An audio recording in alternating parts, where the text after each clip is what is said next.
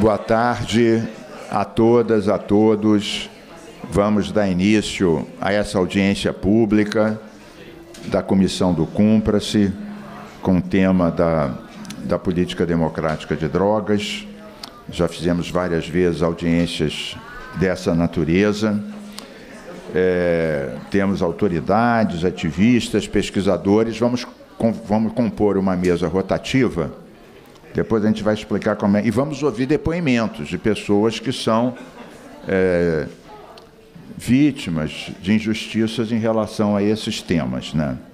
Então, eu convido, peço um pouco de silêncio, as pessoas sentarem, ocuparem suas bancadas, vamos proceder à votação nominal. Quem, quem está de acordo, fique como está aprovado. Então, vamos compor a mesa, como eu disse, rotativa, depois outras pessoas vão entrando na mesa. Convidamos a Nádia Carvalho, da RENFA, Rede Nacional de Feministas Antiproibicionistas.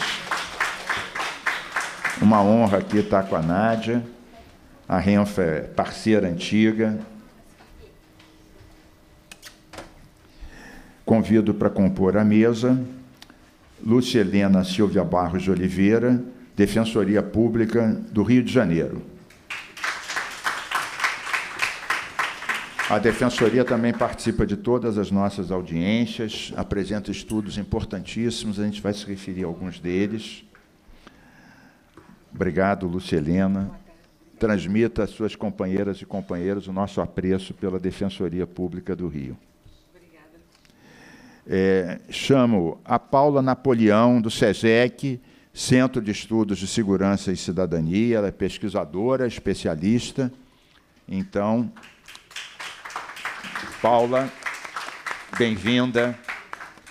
Paula é companheira e parceira das nossas camaradas Julita, Silvia Ramos e várias outras. O SESEC talvez seja uma das instituições que mais pesquisa sobre a questão da violência e sobre a questão das drogas também, de política de drogas. É, chamo para compor a mesa o Ricardo Nemer, Rede Reforma, advogado, também companheiro de longa data. A, a reforma presente em outras audiências a, ajudou a aprovar várias leis aqui, inclusive a lei das audiências de custódia, né, a lei do cannabis medicinal. É, é bom as pessoas se darem conta, várias audiências como essas geraram leis e depois campanhas para o cumprimento da lei, propostas que surgiram exatamente. Espero que hoje também surja alguma proposta bacana. É, chamo para compor a mesa o Major Mazelo, da Polícia Militar do Rio de Janeiro. Estávamos aqui antes conversando sobre a questão ambiental e outros temas importantes.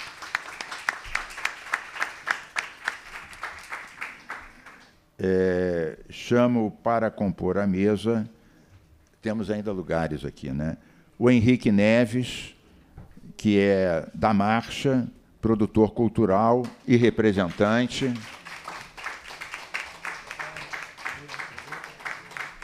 E chamo também para compor a mesa a Luciana Boatê, que é vereadora do município do Rio de Janeiro e é nossa parceira, tem vários projetos sobre esse tema também é uma usual marchadora das nossas marchas.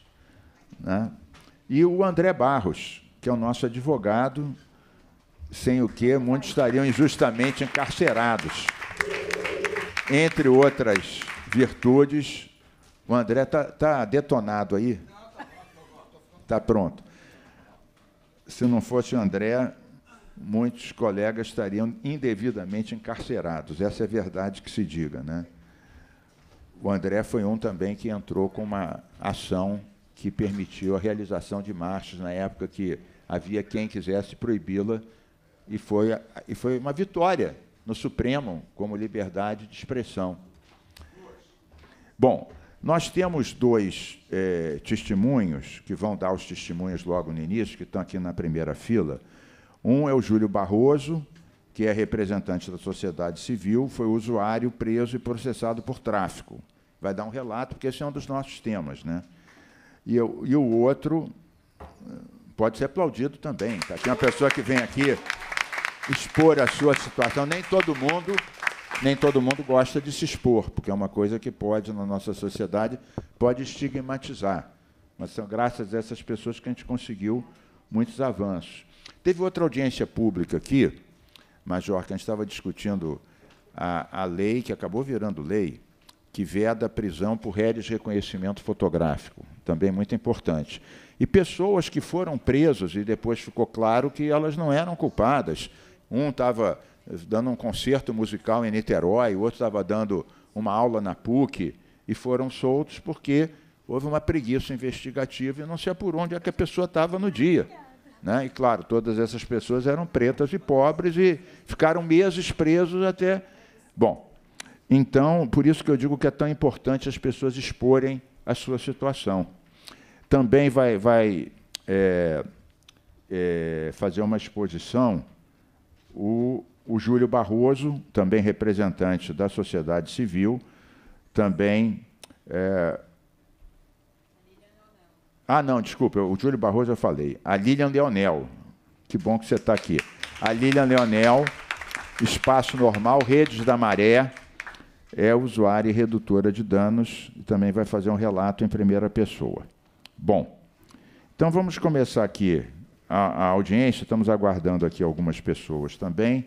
Depois as pessoas vão poder, além das pessoas da mesa, as pessoas que estão aqui no plenário vão poder se inscrever e usar da palavra, como acontece em todas as, as audiências públicas. Né? É, estão presentes aqui mandato da Verônica Lima, o assessor Guilherme Basto. Cadê o Guilherme? Está aqui. E é, do deputado Samuel Malafaia, o assessor Vander Damasceno. Cadê o Vander? Hã? Ah, foi no gabinete. Tá bom. Bem, então, vou fazer uma rapidíssima introdução. É, nós aprovamos em outras audiências dessa comissão, aprovamos o projeto que depois virou lei, cannabis medicinal. Lembrando que foi a primeira lei do país sobre cannabis medicinal, a do Rio de Janeiro.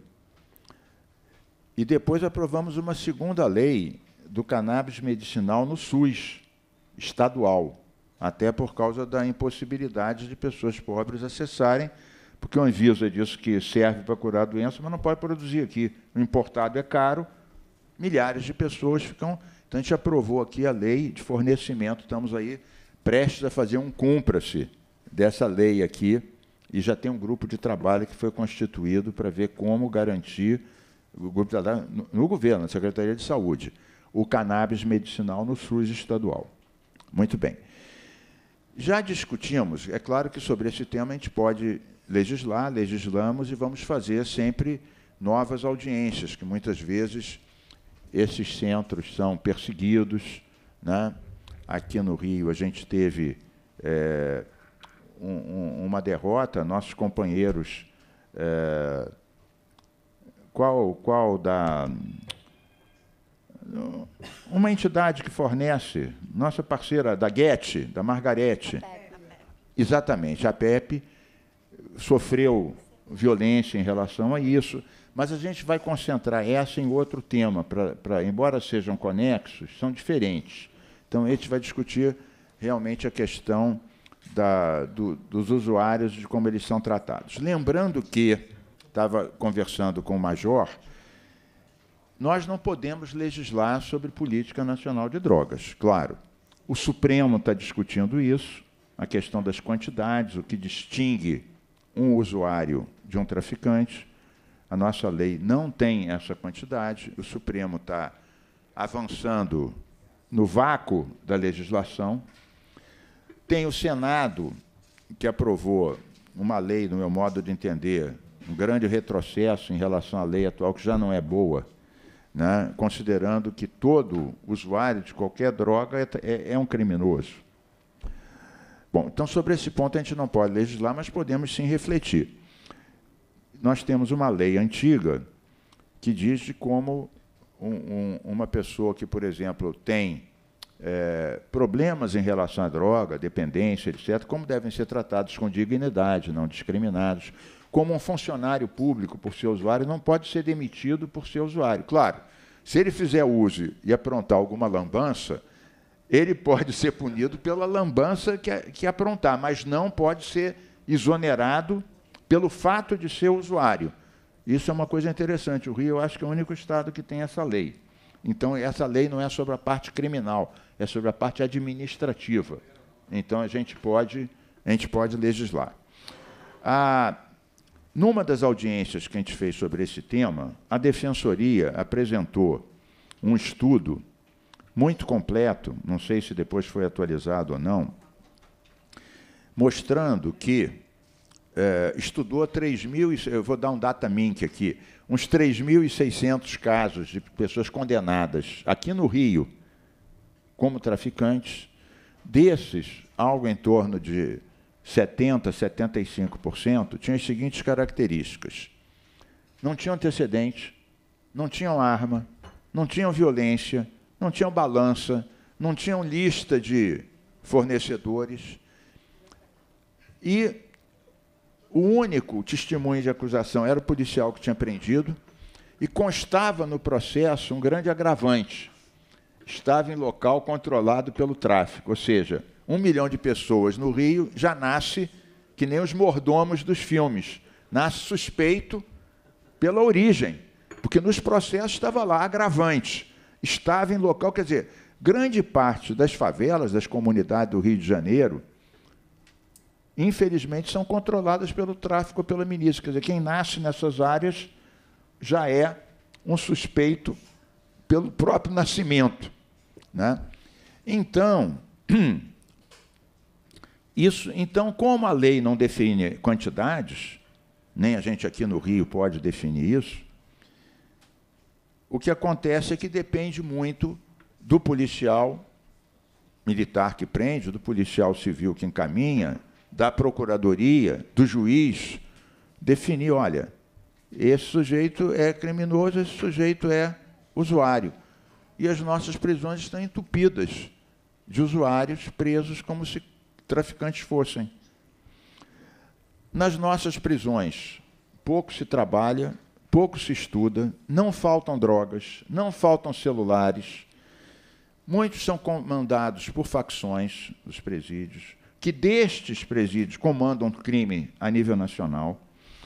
Muitas vezes uma pessoa chega lá, um simples usuário que tinha uma pequena quantidade, acaba acossado por uma gangue daquelas e uma pessoa que não tem proteção nenhuma facilmente é estuprado ou assassinado dentro da prisão e acaba sendo cooptado por uma gangue. Então você entope o sistema penitenciário e é, acaba criando um polo de cooptação.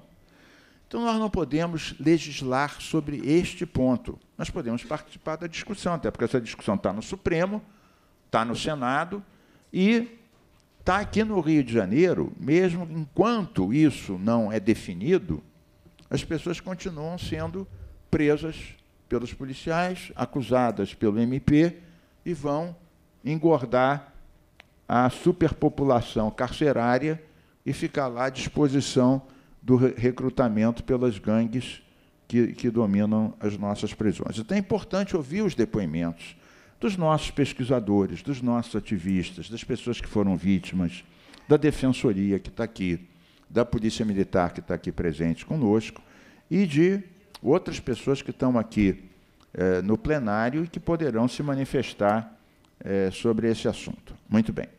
Então, eh, vamos começar, todos os da mesa aqui têm, obviamente, a sua palavra assegurada. Mas vamos começar ouvindo o, uns depoimentos. Então, eu convido o Júlio Barroso para fazer o seu depoimento.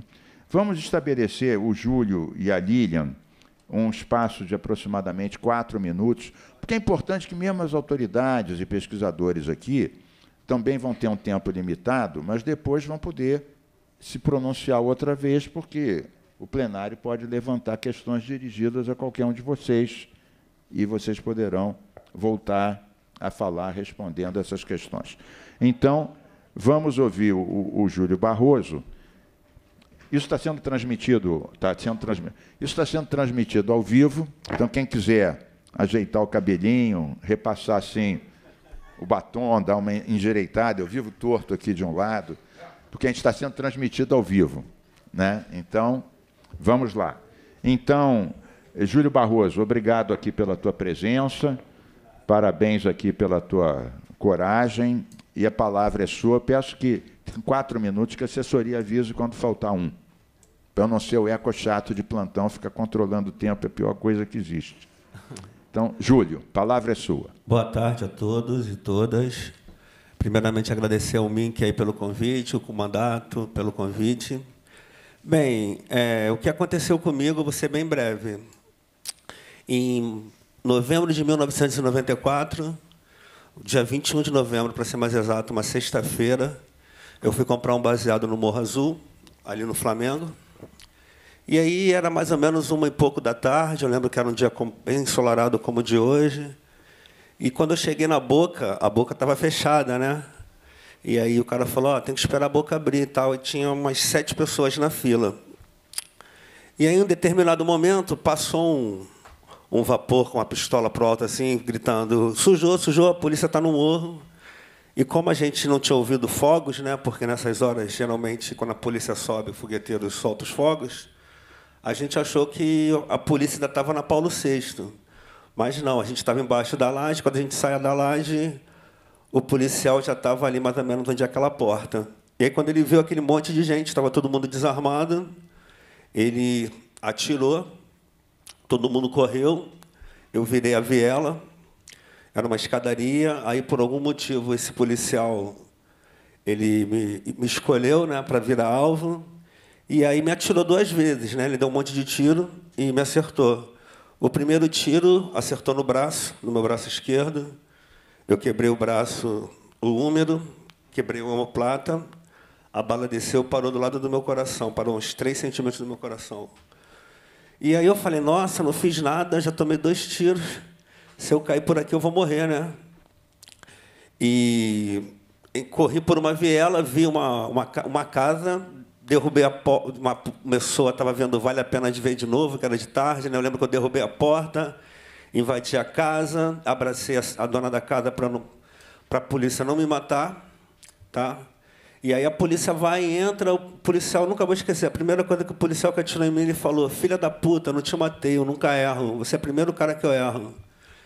E não era polícia militar não, tá? Era polícia civil, era delegacia de repressão entorpecente. E aí o cara puxou minha carteira, aí viu documento, viu documento e tal, aí perguntou se eu era trabalhador, eu disse que era. Aí ele falou, por que, que tu correu então? Eu falei, corri porque você estava dando tiro, eu vou foder com vocês que meu irmão é defensor público, enfim. Aí ele, depois de muito custo, para eu não morrer, né, eu tive que implorar muito, ele me levou para o hospital. Fui para o delegado Maurílio Marques Moreira na época, ele pediu para eu assinar um. Eu não fui pego com nada, né? não fui pego exatamente com nada. E aí ele mandou eu assinar um, um, um, o BO. No BO dizia que eu estava em cima da laje com uma metralhadora e por isso ele me baleou. E aí o processo correu, mesmo sem ter, sem ter sido pego com nada. Eu fui condenado a 12 anos e 6 meses. Eu fui preso com 26 anos, saí com 35. Quer dizer, eu fui condenado no tráfico, não fui pego nem com uma grama de droga. Fui condenado por associação ao tráfico, não conhecia ninguém. E fui condenado por porte de armas e não tinha nenhuma gilete.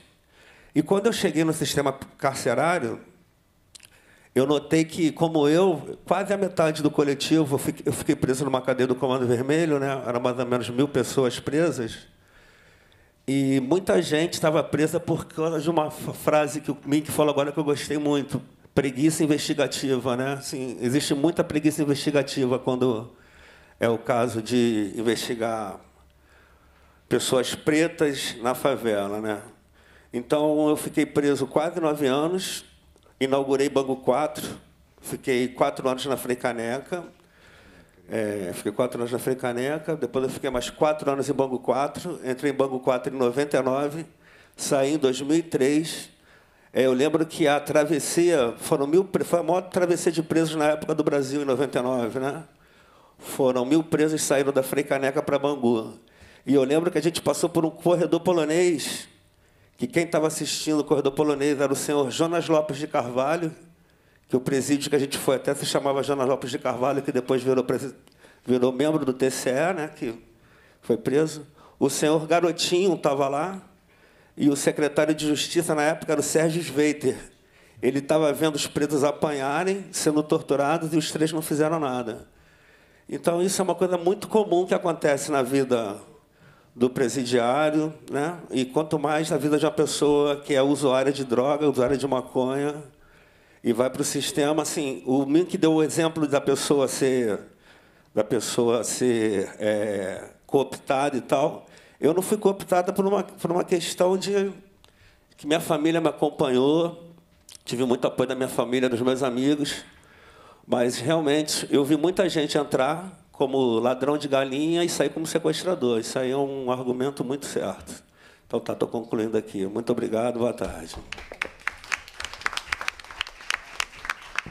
Parabéns aqui pela, pela coragem inacreditável, né? A quantidade de coisas que esse depoimento que esse depoimento levanta, né? Bem, vamos então. Vamos então. Tá, senta aí, senta aí. Obrigado, Júlio Barroso. Vamos ouvir então a Lilian Leonel, que é Espaço Normal, Redes da Maré, é redutora de danos. Também vai dar um relato para a gente, também ao mesmo tempo. Boa Obrigado tarde. aqui pela presença, Lilian. Boa tarde, meu nome é Lilian. Eu trabalho na Rede da Maré e faço um trabalho no Espaço Normal, que é uma, um centro de, de convivência como redutora de danos. Né? E o nosso trabalho nessa, nessa, no Espaço Normal é receber os usuários, os as pessoas que têm problema de saúde mental, os moradores de rua. O nosso trabalho ele é feito com 10 horas da manhã a gente abre, recebemos 150 pessoas na casa. Espera aí, conserta aqui o som. Espera aí, vamos ver. O que, que aconteceu?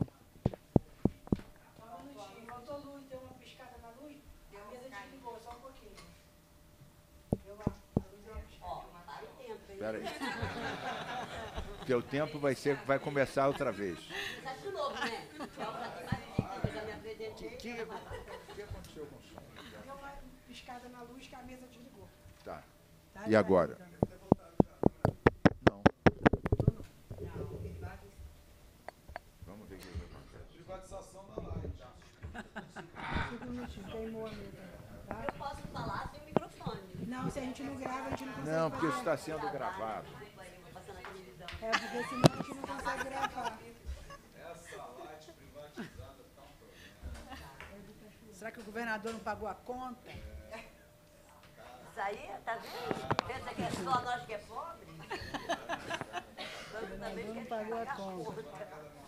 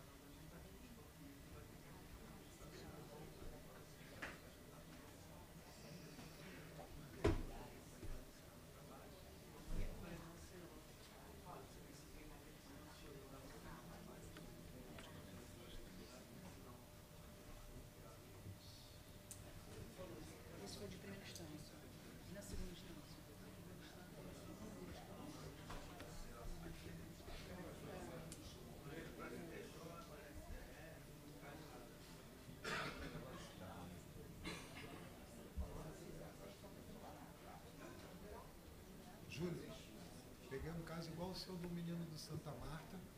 E eu só consegui a liberdade provisória dele porque o menino ele era, era do LGBT e eu consegui pegar as fotos e o promotor que estava lá no dia, ele teve uma certa sensibilidade porque o menino não morava lá, né, tinha o companheiro dele, botou ele na rua, só que o juiz condenou ele. Uma, uma mochila com, com arma, fez, fez teste na arma, não tinha digital dele, pegou o. Oi? Liberdade provisória, no julgamento ele foi, ele foi é, condenado. Só que qual foi o problema que eu achei que foi absurdo? Primeiro, é, não acharam digitais dele no pente, na arma. O caderno de anotação, o exame grafotécnico não deu. Não, porque acharam o caderno de anotação e ele foi condenado. Entendeu? Agora a gente está lá no. Né, fato aqui já discutimos, agora a gente está no STJ. Ah, mas se cair no esquiete. Se cair no esquiete. É, mas, mas aí é o que eu estou falando. A prova que estava lá nos autos era o exame grafotécnico, não tinha. Vou discutir isso. A validade da prova é, que sim, aí você, é. Não, não é direito ali. E a aplicação da pena.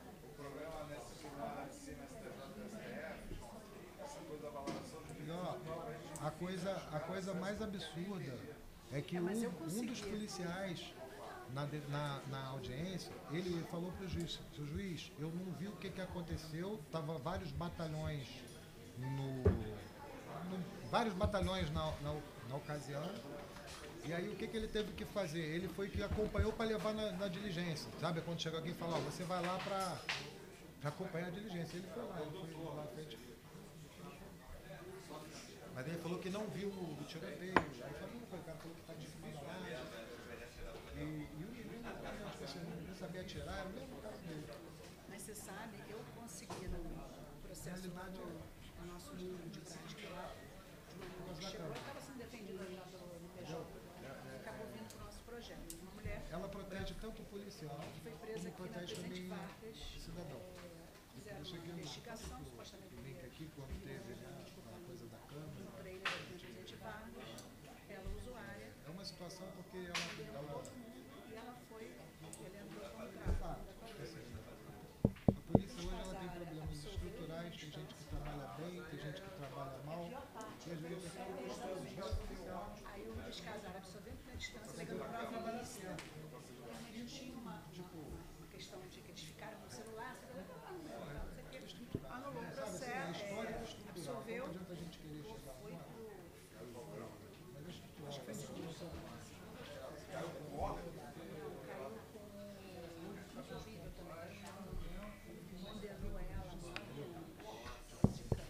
Voltou.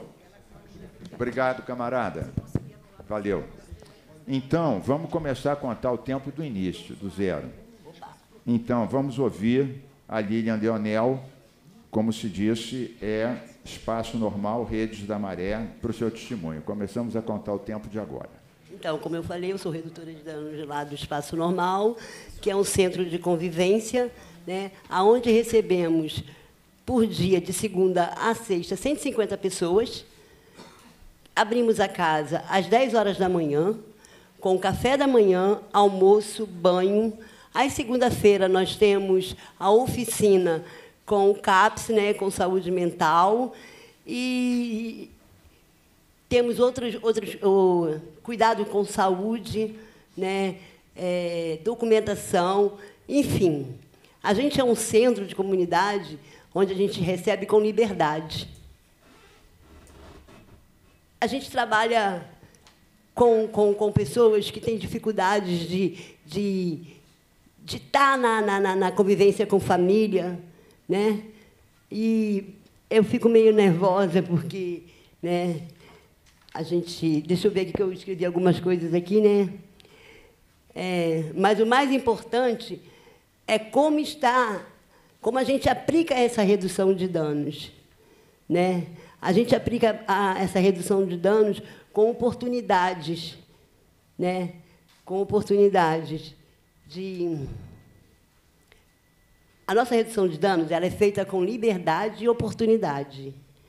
Mas somos julgados e humilhados por sermos usuários. Eu vou falar como eu sei, eu não vou ficar lendo, não. Gente, eu sou assim, sabe? Eu sou usuária de droga. Eu moro na, numa favela, numa Cracolândia, mas eu conheci a Redes da Maré, que trata os usuários como eu. E o que falta não é cadeia, não é grade, o que falta é oportunidade. Eu tive oportunidade. Eu trabalho, eu estudo com liberdade. Sabe, o passarinho, que mal que ele faz para alguém? Mas aonde ele vive? Atrás de uma grade. O cachorro morde, o gato arranha, a barata rói, mas estão tudo solto. Mas aquele que canta está preso. E assim é a nossa vida. Nos prender por quê? O usuário é criminoso? Que crime a gente comete? Querer amor, querer falar com uma criança que passa na rua e ouve a mãe falar, ó, oh, é o bicho-papão, hein? É passar na porta de uma loja, querer olhar uma roupa e sonhar com aquela roupa amanhã e poder dizer assim, poxa, eu vou comprar. Mas você não pode nem pensar que a gente não pode nem parar na calçada. O que a gente escuta, vai, vai, vai, vai. O que vocês querem mudar na nossa vida? Por que, que em vez de grade, não abre centro de comunidade? Não abre, não bota mais redutores de danos para nos ajudar? Por que não tem mais redução de danos do que eu... Gente, redução de danos é tudo na vida de um usuário. Quem conhece redução de danos sabe que redução de danos é tudo na vida de um usuário. É como a redução de danos que a gente sabe o que está acontecendo com a pessoa. É numa redução de danos que a gente consegue aproximar é, usuários na família. A gente tem essas histórias de vida lá na, no espaço normal.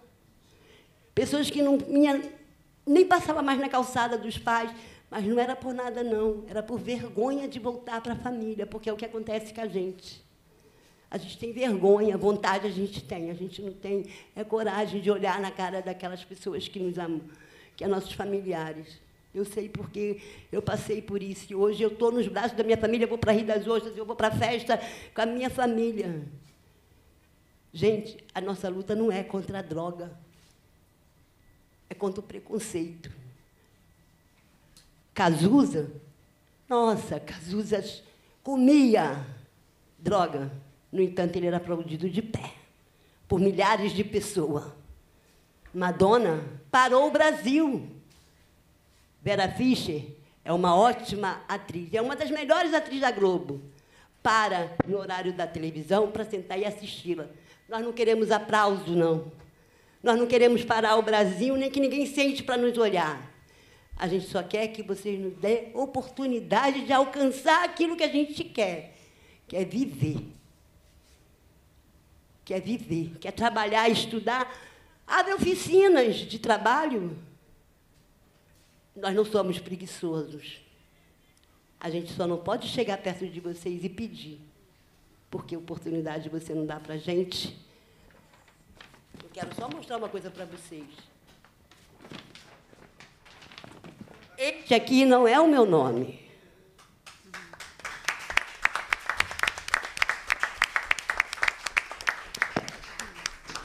Chama é Lília.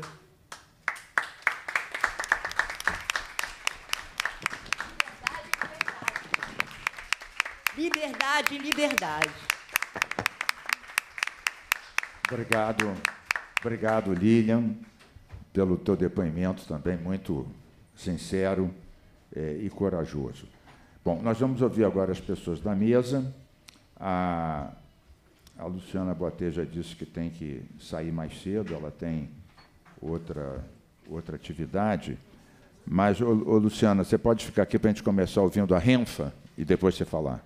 Muito bem, então vamos começar pela Nádia Carvalho, está aqui representando a Renfa, Rede Nacional de Feministas Antiproibicionistas. É, só antes de você falar, Nádia, e me referindo aqui a, a Lilian, Lilian, eu ontem recebi eh, mães de LGBTs. E elas têm uma associação chamada Mães da Resistência. E resolveram me homenagear, porque há mais de 20 anos eu legislo e apoio. E eu também fiz uma homenagem a elas, que muitas vezes o preconceito contra o LGBT começa em casa. Muitas vezes ele é expulso por essa razão. Aí como é que ele vai imaginar que a sociedade vai aceitá-lo se a própria família rejeitou? Né? E eu me lembrei também que há cerca de dois anos eu tive numa atividade no Museu da Manhã, organizado pelo Arco-Íris, que era em defesa de todas as famílias. Então tinham várias famílias homoafetivas, com filhos naturais, filhos adotados, e era em defesa de todas as famílias. Isso foi muito interessante, que o setor mais reacionário acusa os LGBTs de serem algo que dilui, dissolve, ameaça. E aí eles fizeram um ato em defesa de todas as famílias. E eu ouvindo você falar sobre a questão do acolhimento e da liberdade, eu me lembrei de ontem dessas mães da resistência que têm o orgulho de proteger seus filhos LGBTs. Muito bem. Bacana. Ouçamos então a Nádia Carvalho da Renfa. Boa tarde a todas as pessoas presentes. Queria agradecer aí ao Mandato do MINC, acho que não só né, pelo convite à Renfa para participar dessa audiência pública, mas também por ser aí aliada de primeira ordem do movimento antiproibicionista aqui no Rio de Janeiro. Então, né, e saudar a presença é, dos juristas, é, autoridades, ativistas é, dessa causa tão importante aqui presentes. É, eu sou Nádia Carvalho, né, faço parte da Rede Nacional de Feministas Antiproibicionistas, uma organização é, de mulheres e pessoas trans né, atingidas pela guerra às drogas, que tem aí quase 10 anos é, de luta né, e de defesa de uma outra política de drogas para o nosso país. Estou aqui substituindo a companheira Fanny Santos, né, que além de ativista da Renfa, também é comunicadora do IDPN, né, que hoje está aí né, numa missão muito importante é, de construção dessa rede de solidariedade. Aqui eu queria iniciar a minha fala prestando solidariedade né, ao companheiro que também é companheiro da nossa causa, da luta antiproibicionista, o advogado é, Joel Luiz, que está sofrendo né, perseguição, tentativa de intimidação e descriminalização né, a partir de um relatório da UPP do Jacarezinho, que foi vazado à imprensa, né, e que o caracteriza é, como né, é, e que criminaliza, na verdade, a sua atuação política naquele território, né, fazendo é, ilações sobre a sua atividade profissional. Então, nesse momento, é tarefa né, dos ativistas, dos lutadores e lutadoras da causa antiproibicionista, do movimento negro, do movimento de direitos humanos, não só né, da nossa cidade, do Estado, mas do país, se solidarizar com Joel. E acho que é, pre é, precisava gastar aqui um minutinho desse tempo para poder, enfim, né, convocar é, essa audiência pública também prestar solidariedade ao nosso companheiro, né? Mas falando aí, acho que atendendo a resposta, tentando buscar respostas para a pergunta, né, que induz aí é, o, o tema dessa audiência pública, né? Usuário é criminoso? É uma pergunta que a gente tem que se feito, infelizmente, é, bastante esses tempos, né? Não só, eu acho que por conta de uma perspectiva filosófica, mas porque a gente tem aí em tramitação, foi aprovado em primeiro e segundo turno, em regime, né, é, contrariando, inclusive, os, os trâmites né, do regime interno é, do Senado, aprovado em primeiro e segundo turno já a PEC 45.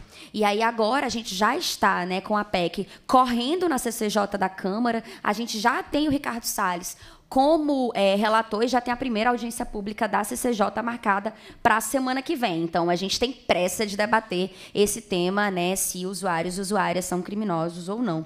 É, não vou aqui entrar no debate da, da autolesão não punível, porque temos aqui os companheiros da reforma, advogados e advogadas é, qualificados para poder fazer esse debate, porque eu acho que nesse momento, e principalmente nessa semana né, de 13 de maio, de 134 anos de abolição inconclusa, o debate central aqui colocado é qual é o papel da criminalização das drogas no Brasil, seja do seu uso, da sua circulação, do seu comércio.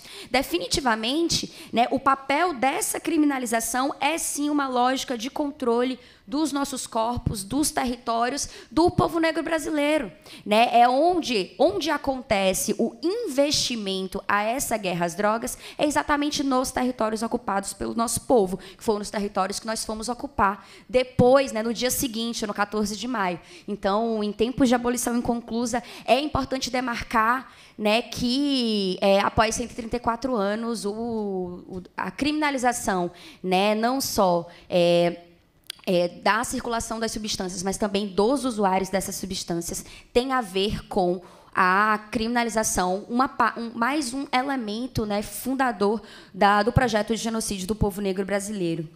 É, porque, de fato, quando a gente fala né, é, dessa abolição inconclusa, a gente fala de uma política né, que visa é, manter esse controle sobre os nossos corpos, sequestrar os nossos corpos e submetê-los a situações degradantes, como muito bem o Júlio é, e a Lilian é, relataram aqui para a gente. Né? Seja no ambiente de cárcere, porque, de fato, a PEC que tramita hoje, ela, né, ela coloca o tema da criminalização numa perspectiva de não encarceramento, mas é, a gente sabe que é, quando a gente coloca né, numa perspectiva subjetiva de identificação entre quem é usuário e quem é traficante, o, a tese do perfilamento racial, que estava lá em debate no STF, demonstra quem é que é encarcerado como traficante é, no nosso país. Mas também é importante falar sobre esse contexto de cuidado em liberdade, como a Aline estava falando, porque a, inclusive a emenda que foi apresentada, a PEC 45 no Senado, ela coloca como alternativa é, né, de penalização, já que não existe aí a indicação é, de encarceramento né, desses usuários, é exatamente né, a, a, a lógica de uma internação compulsória em comunidade terapêutica.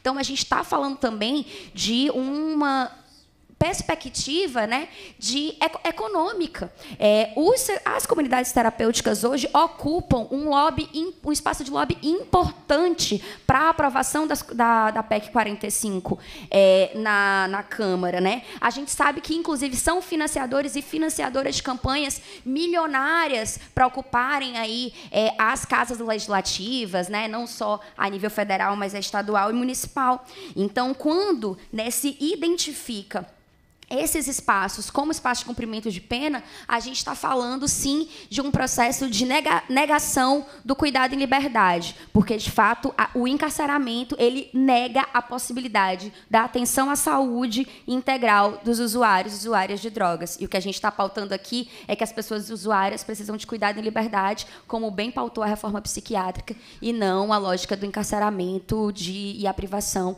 né, da liberdade, do direito. É, a felicidade, que é o que a gente busca aí como usuários e usuárias de substâncias psicoativas. É isso.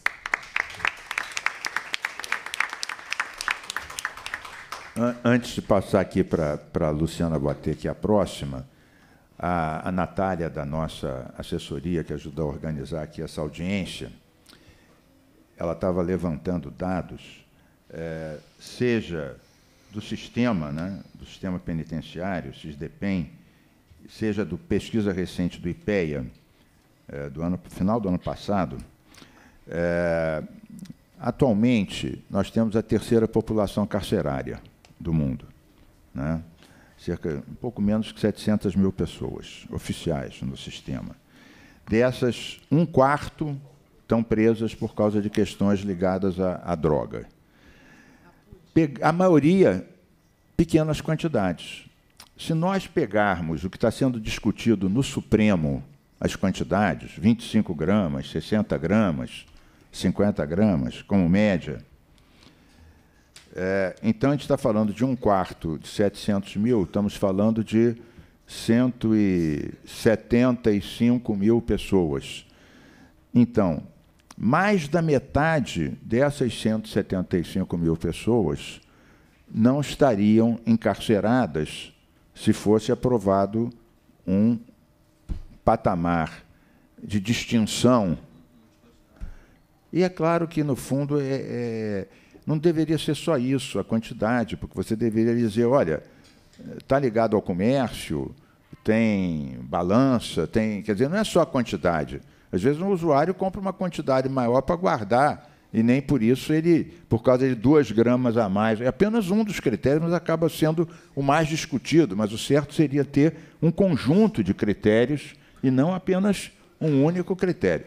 Mas pegando esse único critério médio do Supremo, mais da metade dessas 175 mil pessoas não poderiam estar presas porque não estão ligadas à violência, não são reincidentes, têm uma quantidade menor do que do que 50 gramas. Então, imaginem um sistema que tem 700 mil presos, custando uma fortuna por ano, com nível de reincidência criminal elevadíssimo, cento e poucas mil dessas pessoas simplesmente estariam em liberdade, podendo estudar, podendo trabalhar, não tendo aquele contato forçado com pessoas aí sim, algumas muitíssimo perigosas. Né? Então era apenas esse dado que a Natália levantou e que tem que ver com a discussão do Supremo. Então, passamos agora a palavra para a nossa vereadora Luciana Boatê, do PSOL aqui do Rio de Janeiro, que é uma ativista, tem propostas sobre vários desses temas, inclusive cannabis medicinal, e também uma frequentadora das marchas e de todas as mesas que debatem esse tema. Luciana, é um prazer ter aqui você conosco, nossa companheira, a palavra é sua. Muito obrigada, deputado Carlos Mink, é, pelo convite. É, boa tarde a todas, todos e todos aqui presentes, saudar essa mesa.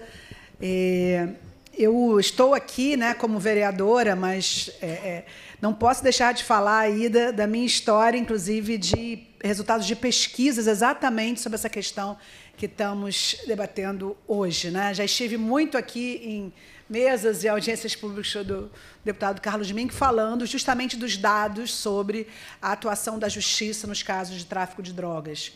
E, e me lembrava que, escutando as falas, me lembrava lá em 2009, quando nós lançamos a pesquisa Tráfico de Drogas e Constituição, financiada pelo próprio Ministério da Justiça, mostrando quem eram os condenados por tráfico no Rio de Janeiro. Né? Eram jovens, presos, em sua maioria, por maconha e cocaína, é, primários de boas antecedentes, na sua maioria esmagadora, é, é, homens, mesmo assim, com crescente número de mulheres, e desarmados e sem vínculo com crime organizado é, ou seja, sem, sem responderem por associação, seria só por tráfico.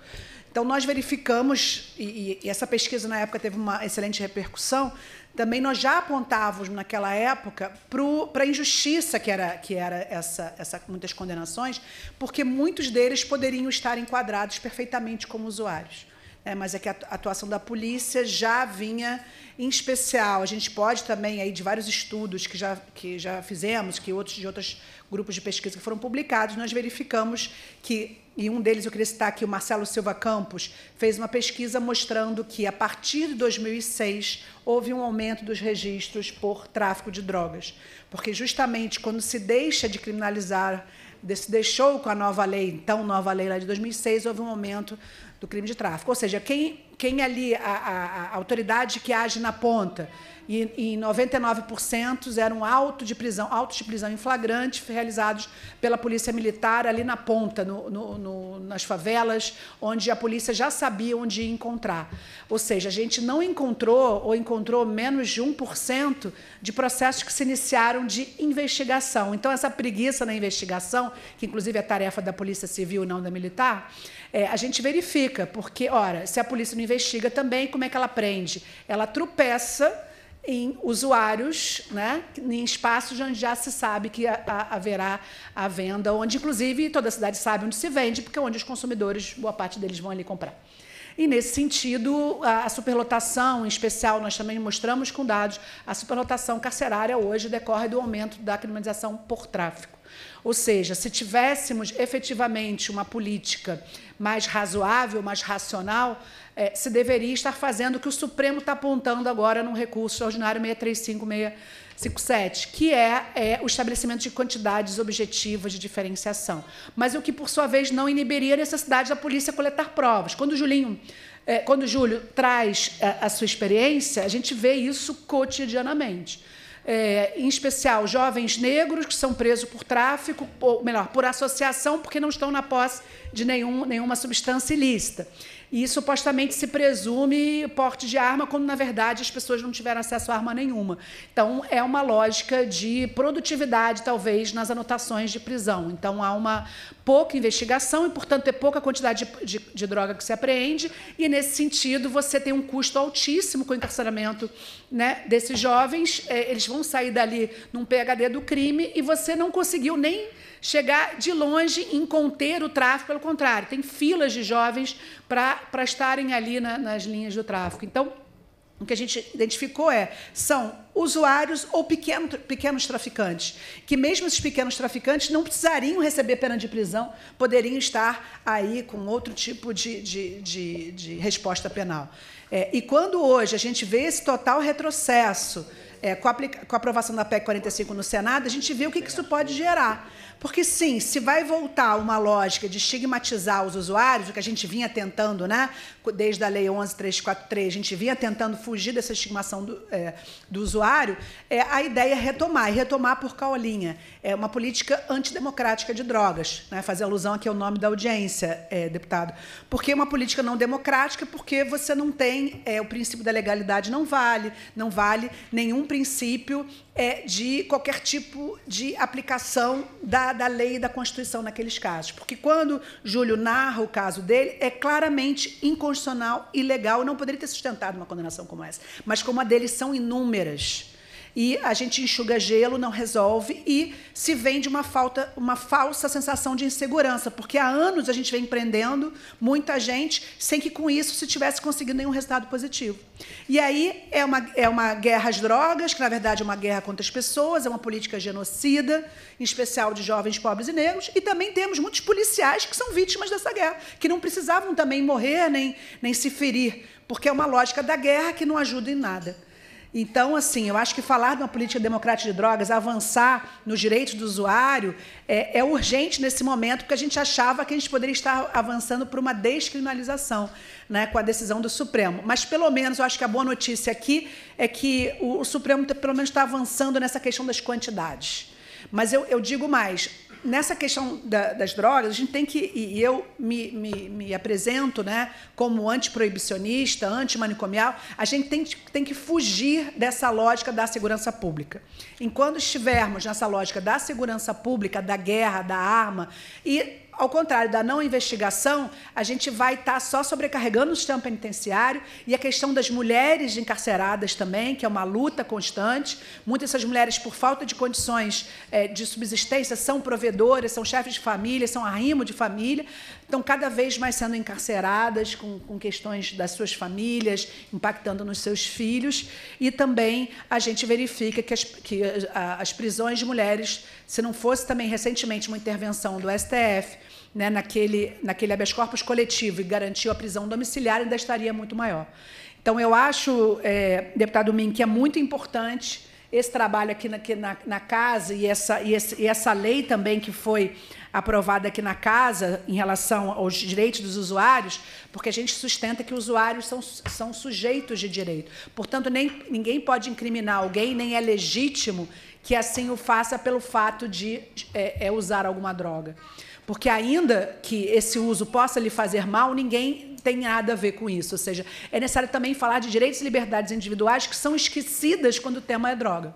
E concluindo, eu só queria dizer que a gente está na Câmara, também seguindo essa linha do, das nossas competências específicas, né? promovendo, então, é, a defesa da, da, regulamentação do fornecimento de cannabis medicinal no SUS, para a democratização desse acesso, tentando reforçar a lei já aprovada aqui na LES mas dizendo também que esse proibicionismo, essa lógica da guerra às drogas, hoje afeta também crianças que precisam do remédio. Ou seja, a maconha é remédio, a maconha tem várias finalidades científicas, e enquanto ela for vista, e assim como outras drogas, como os psicodélicos, é, que, que, cada vez vem tendo mais estudos, enquanto for vista como uma questão de violência, uma questão de guerra, uma questão de segurança pública, nós não iremos avançar nem né, na minimização do impacto, por exemplo, de, da condição é, de criança autista, que tem cada vez mais buscado né, a cannabis medicinal para redução das convulsões, para tratamento, para melhoria das condições de vida. Então, que essa lógica também está é, é, tá prejudicando esse acesso. Então, nós propusemos também um PL para criar o Fundo Municipal de Acesso a Cannabis, que a gente para poder ter verba para o SUS né, do município poder fornecer, e também um, um, um caso que nos chegou por uma mãe que teve seu filho internado que foi proibida de usar cannabis no hospital ou seja, é, é, a, a, autorização para a utilização desse medicamento enquanto seja internado, e também um programa de capacitação permanente dos profissionais da saúde, porque essa lógica proibicionista, essa lógica né, da criminalização, ela também afeta a própria formação dos médicos que poderiam estar aí tratando e prescrevendo essas doenças. Ao invés disso, nós estamos tendo médicos, em especial nos hospitais de emergência do Rio de Janeiro, virando especialistas em atender pessoas feridas a bala, ou seja, a saúde pública, na verdade, ela é, ela é agravada, ela é colocada em mais risco com essa criminalização do que esse suposto bem jurídico que se pretenderia proteger, pelo menos é o que a gente dá, é, ensina na faculdade lá como professora de direito penal. Ou seja, se a criminalização se justifica por uma questão de saúde pública, é, é a própria saúde pública que se coloca em piores condições por meio dessa criminalização. Então, Beleza. muito obrigada. Eu peço desculpas que eu vou ter que sair, mas parabenizar aqui pelo evento. Oh. Luciana Bater, sempre bom te ouvir. Você realmente conhece bem o assunto, pesquisa há muitos anos, participa. Queria aproveitar para cumprimentar aqui a Monique Prado, que está aqui presente, nos assessorou nessa área há muitos anos, agora está trabalhando contigo. Você tem muita sorte. Alguns dos projetos que a Monique ajudou a preparar, nós já aprovamos, como o cannabis no SUS, e outros estão andando até o cannabis veterinário e o cannabis na indústria e na agricultura. São outros projetos também. Eu queria, eu vou chamar aqui a, a Paula Napoleão, Napoleão, do SESEC, mas antes disso eu queria falar rapidamente uma coisa, já que está se falando de experiências também de outros estados, de outros países. Em países, em países, é, Major e também é, o Ricardo, que conhece esse assunto, da Rede Reforma. Nos países. Boa tarde, Luciana. Em países onde, ou em estados dos Estados Unidos, onde houve a legalização, tanto da cannabis medicinal quanto da cannabis chamado uso adulto ou uso recreativo, foram feitos estudos, estatísticas, que mostraram, desmontaram alguns dos mitos a respeito disso. Primeiro, não houve acréscimo de overdoses. Não houve sequer acréscimo significativo do consumo. O Estado arrecadou bilhões com isso, investindo em segurança comunitária, em campanhas de prevenção e de atendimento às pessoas intoxicadas ou pessoas com algum tipo de dependência. Então, seja as experiências do Uruguai, de Estados americanos, de Portugal, aqueles mitos de que a legalização vai ter uma explosão de consumo, uma explosão de criminalidade, uma explosão de overdose, nada disso aconteceu. Simplesmente nada disso aconteceu. E essa estigmatização é tão grande. Eu, eu participei de todas as marchas da maconha aqui no Rio de Janeiro. Como deputado, como secretário, como ministro de Estado do Meio Ambiente, eu participei. A bancada da bala me convocou, quanto ministro, enquanto eu era ministro, quis caçar o meu mandato de ministro por eu ter participado da caminhada, caminhada essa expressamente, expressamente, André Barros, autorizada pelo STF, autorizada numa é, ação que você que você participou. Quiseram caçar o meu mandato de ministro, e olha que a gente estava reduzindo a metade do desmatamento da Amazônia, mas isso não era relevante. Relevante era eu ter participado, como eu participei todos os anos, da marcha. Vejam aonde chega o, o estigma e o, o, preconceito. Então vamos ouvir agora a, a, a Paula Napoleão, que é do SESEC, Centro de Estudos de Segurança e Cidadania, ela é pesquisadora especialista em dinâmicas, uso e criminalização. Boa tarde, pessoal. Queria agradecer ao deputado Carlos Mink por essa iniciativa, né, da gente estar aqui debatendo os efeitos, né, dessas propostas que estão aí é, circulando a âmbito federal. É muito importante que a gente olhe para o impacto disso na vida das pessoas, né? É, e acho que eu vou centrar muito a minha fala nesse aspecto, no impacto que esse tipo de política tem na vida dessas pessoas que já estão em situação de uma vulnerabilidade muito extrema. Né? Eu acho que a gente não pode perder isso de vista e eu acho que muitas vezes a gente deixa de levar isso em consideração nas nossas reflexões. Né? É, eu sou pesquisadora do Centro de Estudos de Segurança e Cidadania, que é uma organização aí da sociedade civil que atua há mais de 20 anos com pesquisa nesses temas, né, justiça criminal, violência e política de drogas, e também sou doutoranda né, em antropologia pelo programa de pós-graduação de sociologia e antropologia da UFRJ. Né? E o que me chama a atenção, eu queria começar minha fala né, é, frisando que tem me chamado a atenção como esse debate, quando a gente olha para os debates da PEC 45 aí, que foi aprovada no Senado e está na Câmara dos Deputados, né, e para o julgamento no STF, que versa sobre a criminalização, que versa sobre a descriminalização do porte para uso de maconha, é, o quanto esses debates são permeados por achismos, por moralismos e por pseudociências, né? E como a gente não inclui as pessoas que são mais afetadas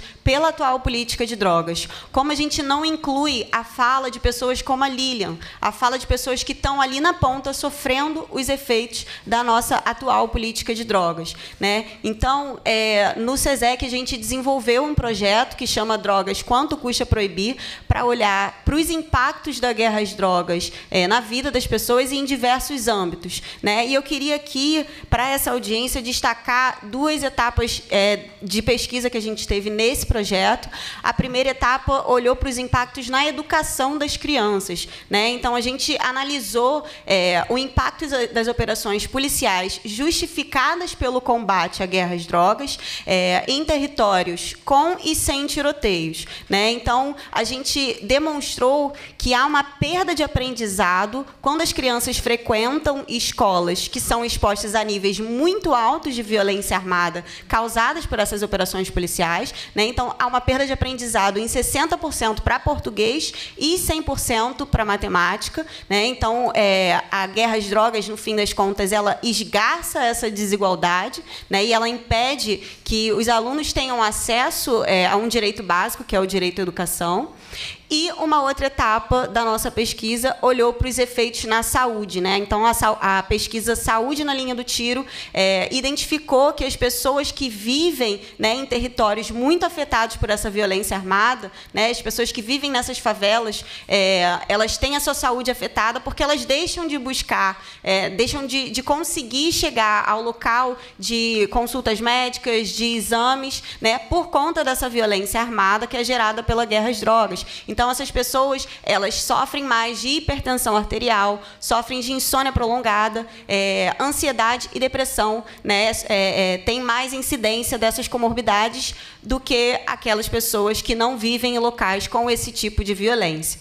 É, e, para além disso, eu queria destacar também que a criminalização do usuário, do uso, é, ela aumenta o estigma. Né? Então, a fala da Lilian aqui, né, acerca da vergonha que o usuário tem, né, muitas vezes de é, ter esse vínculo familiar mantido, de buscar um tratamento, isso é uma realidade. Então, a gente precisa olhar para esse aspecto, né? como que a criminalização vai esgarçar é, e vai aumentar essa vergonha que esse usuário tem de buscar uma política pública. Política pública essa que a gente sabe que é muito escassa, que não dá conta da demanda, né? E uh, todos os dias é, o trabalho que, que organizações como o Espaço Normal é, fazem é importantíssimo, mas a gente não pode perder de vista que esse é um dever do Estado. Então, o Estado ele precisa garantir políticas de renda, políticas de saúde, políticas de, de trabalho, de educação para essa população. Né? E uh, essas pessoas que estão sofrendo os efeitos dessa política, elas são majoritariamente negras. Então, a gente tem mulheres né, em situações de extrema vulnerabilidade e uh, mulheres que muitas vezes estão grávidas e deixam de procurar, é, enfim, é, é, consultas, deixam de, de ir ao médico por medo de perder os seus filhos, né, por conta dessa criminalização. Então, quando a gente está falando de criminalização do usuário, a gente precisa entender e precisa refletir sobre os efeitos que vai recair é, sobre essa população que é mais vulnerabilizada. Né? E a gente também tem que é, é, refletir como as comunidades terapêuticas, que foi é, um ponto trazido aqui pela minha é, colega da Renfa, né, o fortalecimento dessas instituições. A gente também fez uma pesquisa no Centro de Estudos de Segurança e Cidadania sobre essas entidades, né, que são organizações é, essencialmente religiosas né, e que atuam ali na ponta, muitas vezes onde não há oferta de serviço público de saúde e de assistência psicossocial. E essas entidades estão ali fazendo esse serviço que não tem qualquer padrão de funcionamento, né? não tem evidência científica sobre a sua eficácia, né? e muitas vezes recebem financiamento público. Então, a nossa pesquisa mostrou que, mesmo as entidades que estão aptas a receber financiamento público, elas seguem funcionando sem qualquer é, padrão, né? elas seguem funcionando, inclusive violando direitos. Né? É, então, é, só para finalizar a minha fala, é, quando a gente também está falando de usuário, é, eu inclusive saldo o Mink e a Luciana que, que estava aqui. É muito bom ter parlamentares comprometidos com essa causa é, mas a gente também precisa levar em consideração que essa criminalização atinge as pessoas que fazem uso terapêutico da maconha e estão em favelas e periferias. Né? Uma pesquisa do Movimentos é, demonstrou que 68% das pessoas né, em favelas aqui do Rio de Janeiro que usam, é, fazem esse uso terapêutico da maconha, elas precisam pagar para ter é, acesso a esse tipo de tratamento e 32% dependem de ONGs para conseguir o seu óleo ou a sua forma de uso que for. Né? Então, a gente está falando de pessoas que já estão em sofrimento por conta da sua condição de saúde e que tem esse sofrimento aí é, acentuado né, por conta dessa insegurança jurídica em que elas se encontram. Então, para finalizar, é, acho que a gente tem que trazer é, esses pontos para debate olhando para essas pessoas que já estão muito vulnerabilizadas porque elas não têm acesso a direitos fundamentais, que é o acesso à saúde, acesso a, a, políticas de renda, de trabalho e educação. E são essas pessoas que vão continuar sofrendo e vão continuar é, tendo vergonha de buscar ajuda, é, mais vulnerabilizadas, vivendo em condições de extrema precariedade. E são essas pessoas que vão ser afetadas por essa política. Obrigada. Obrigada, Paulo Napoleão, pela, pelas informações que você trouxe, pelas pesquisas mais recentes Transmita aqui outra vez o nosso abraço para Julita, para Silvia Ramos, para toda a equipe. Eu, eu queria ouvir agora o Ricardo Nemer, que está aqui do meu lado, é da Rede Reforma, advogado, participou de todas as audiências e foi um dos que ajudou a fazer a lei eh, das audiências de custódia, que surgiu numa audiência como essa aqui. Lembrando que, eh, para quem não lembra, audiência de custódia obriga qualquer preso em flagrante a ser ouvido por um juiz em 24 horas. Aí o juiz analisa se ele foi torturado ou não, se ele estava armado ou não, e determina que ele siga preso, que ele aguarde em casa, em suma, toma uma decisão a respeito disso. Lembrando que dados da própria eh, Defensoria Pública nos primeiros dois anos, bom, é bom que se diga também que a audiência de custódia não é exclusivamente por causa da, da lei estadual, tem a ver com o Conselho Nacional de Justiça. É bom que se diga isso para não fazer uma apropriação indevida do assunto. Mas é o único Estado que tem realmente essa lei e, sem dúvida nenhuma, é um reforço porque ela está debaixo de ataque. A lei está debaixo de ataque por, por, pelas forças que querem. Que... Uma Câmara Corporal também que se teve uma audiência. Isso que eu queria dizer. Além dessa, da, da audiência de custódia, que, tem, que permitiu, nos dois primeiros anos, que alguns milhares de usuários fossem soltos pelo juiz, porque ficou claro que não eram traficantes. Então, ela também, embora não seja o ponto fulcral, ela ajuda a, a, a aprumar, porque você, às vezes, sem audiência de custódia, você fica quatro, cinco, seis meses preso sem que um, um juiz te ouça, e depois o juiz chega à conclusão que você não era criminoso, não podia nem estar preso. Mas aí você ficou seis meses preso. Então a audiência de custódia não acaba com a injustiça, mas inibe, dificulta e minimiza uma parte dela. Exatamente por isso está debaixo de fogo cruzado dos que querem derrubá-la e acabar com a audiência. E junto com isso, outra. Como? Eles não querem soltar ninguém. Não querem soltar ninguém. Querem fazer mais e mais presídios. E talvez desmatar algumas unidades de conservação para fazer alguns presídios. É, e eu lembrei agora, o, o próprio Ricardo Nemer aqui do lado lembrou, que foi em audiências públicas como essa que surgiram duas propostas que também foram convertidas em lei. A lei que obriga as câmeras nos uniformes dos policiais, a gente já está numa etapa avançada do cumpra-se, e a lei que veda a prisão por de reconhecimento fotográfico. Outra lei importante, a gente também usou dados da Defensoria Pública para conseguir uma base e aprovação dessa lei. Né? Sendo que essa última, a, a lei que veda a, a prisão por de reconhecimento, foi aprovada por unanimidade. Depois de ter uma grande rejeição contra ela, né, a bancada bolsonarista, que era completamente contra essa lei, que achava que a lei dava mole para os bandidos.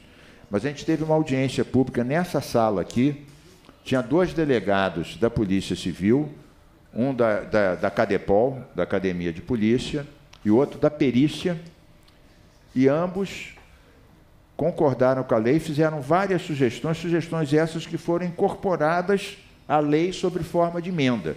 Então vejam como é importante, Major, é importante a presença, no caso, de dois delegados especialistas, um da perícia, né?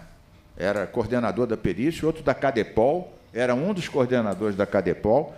Eles falaram, deram sugestões que melhoravam, que em suma, é, corrigiam alguns pontos, e aí nós incorporamos a lei, ela foi aprovada por unanimidade, e eu mesmo falei com o governador que sancionou a lei, falei, governador, nós convidamos duas autoridades da polícia, incorporamos todas as sugestões, não há por que vetar, e o governador sancionou essa lei. Isso é para valorizar audiências como essa, e passo imediatamente, então, ao Ricardo Nemer, que é advogado e aqui está representando a Rede Reforma. Obrigado, boa tarde a todos e todas pela oportunidade. É, eu vou começar aqui o meu lugar de fala falando como advogado, né, e tentando responder se o usuário é criminoso. É, vou dizer que se o direito penal ele não pune o suicídio, né, ele não pune nenhuma pessoa doente, ele não pune o diabético que come açúcar. Então, sob o ponto de vista jurídico, é um absurdo criminalizar o usuário, né? É, poderia também, é, sobre meu lugar de fala, né, eu falei como advogado, poderia falar que eu sou mestre em sociologia e direito, poderia falar que, sob o ponto de vista sociológico, né, a criminalização do usuário é uma criminalização imoral, racista, classista. Né? A lei do Pito do Pango, que em 1830 institucionou a proibição da maconha, ela é muito interessante porque ela não proibiu a plantação, ela não proibiu fumar maconha, ela proibiu o pito. O pito era algo que era tradicional. Né? É interessante que, mesmo com a lei do pito do pango, em 1898, várias é, empresas vendiam cigarros índios. Então, ou seja, não havia né, repressão para quem ganhava dinheiro com isso. E é interessante a gente pensar que naquela época, em 1830, não vinha ninguém de cavalo do Paraguai com maconha prensada e nem do Nordeste. Então, a, a plantação era feita em terras de ricos, né? E quem fazia a fiscalização naquela época era a guarda e era a polícia. Não vou nem dizer que poderia ter corrupção. Mas eu acho que hoje, depois da fala do Júlio e da Lília, eu vou falar aqui como usuário de drogas. Eu acho que eu posso é, é, colaborar muito mais para responder essa, essa questão, se o usuário é criminoso, né?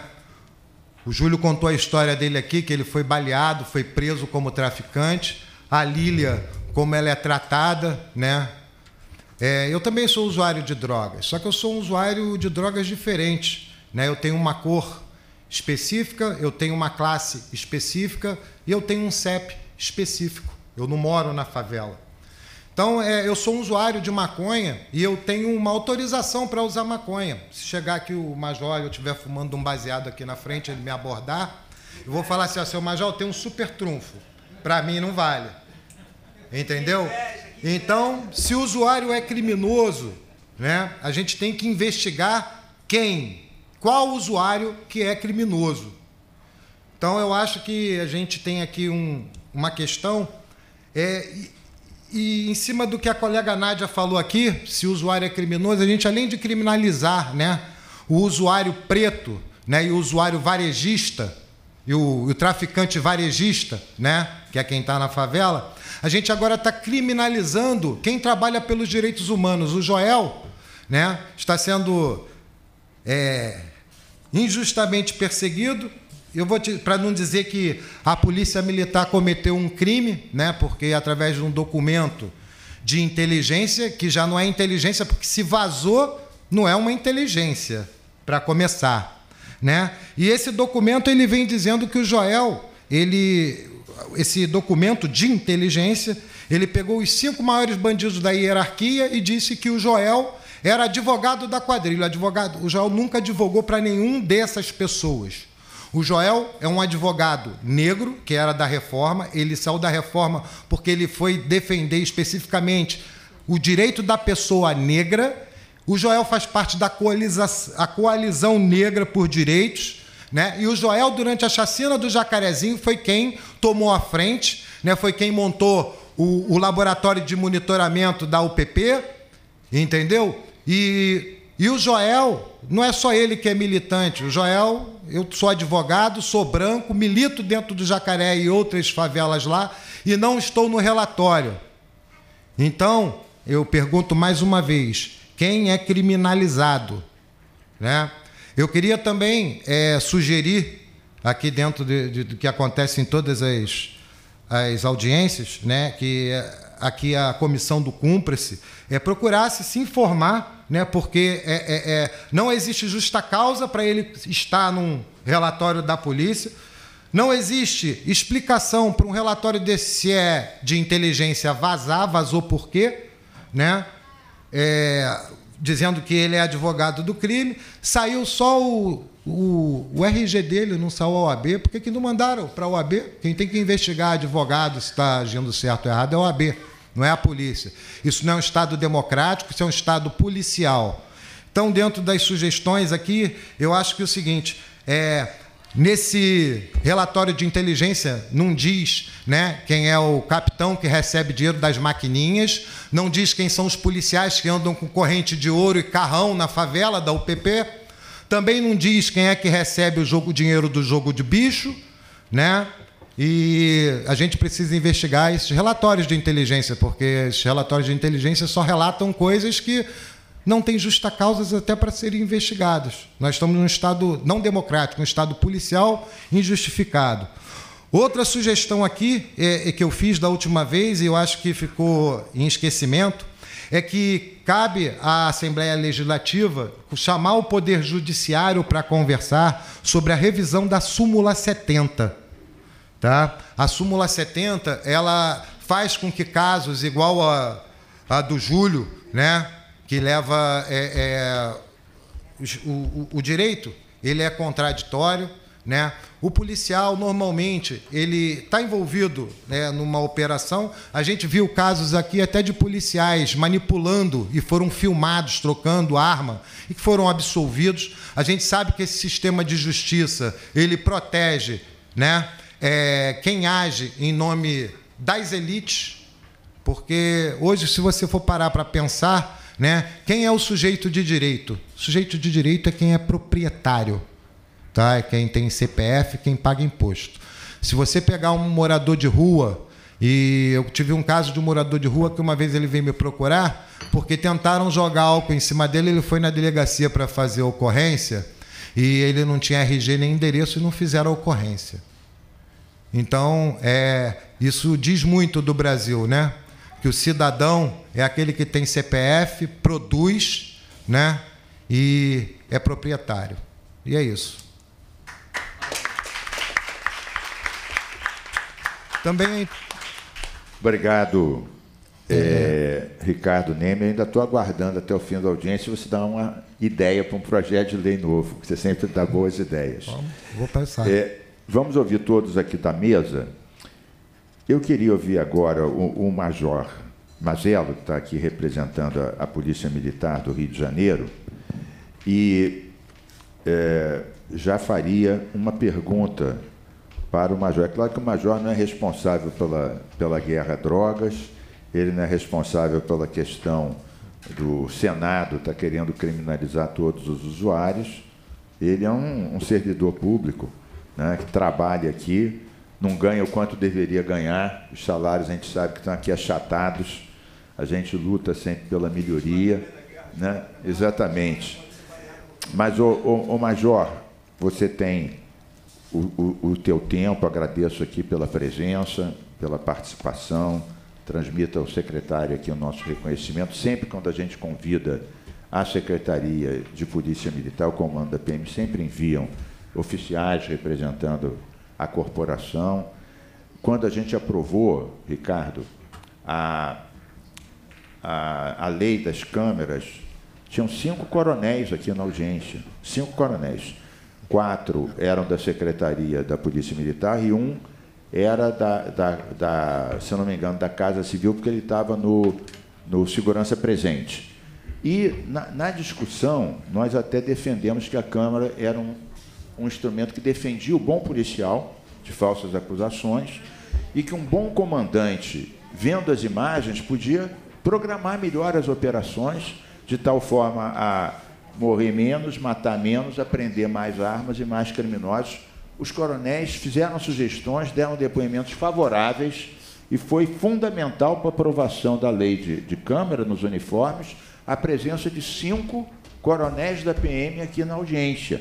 Então, queria saudar aqui a PM. Mas já que colocava, e no seu tempo, obviamente, não está contando ainda, uma pergunta para o Major Mazelo, que é a seguinte. É, como a gente falou no início, não existe nenhuma quantidade que, se, eh, que diferencie o usuário do traficante.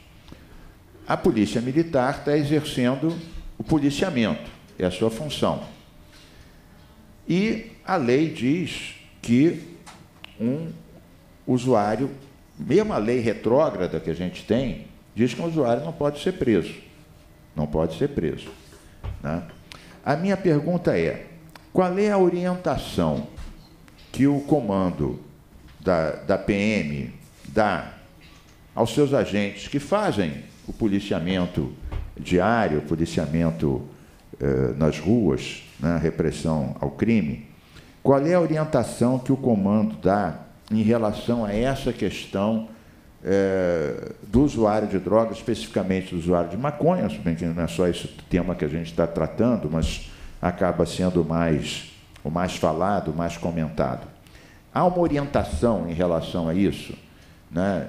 Eh, quem se prende, quem não se prende, como é que age numa circunstância como essa? A palavra é sua, obrigado pela presença.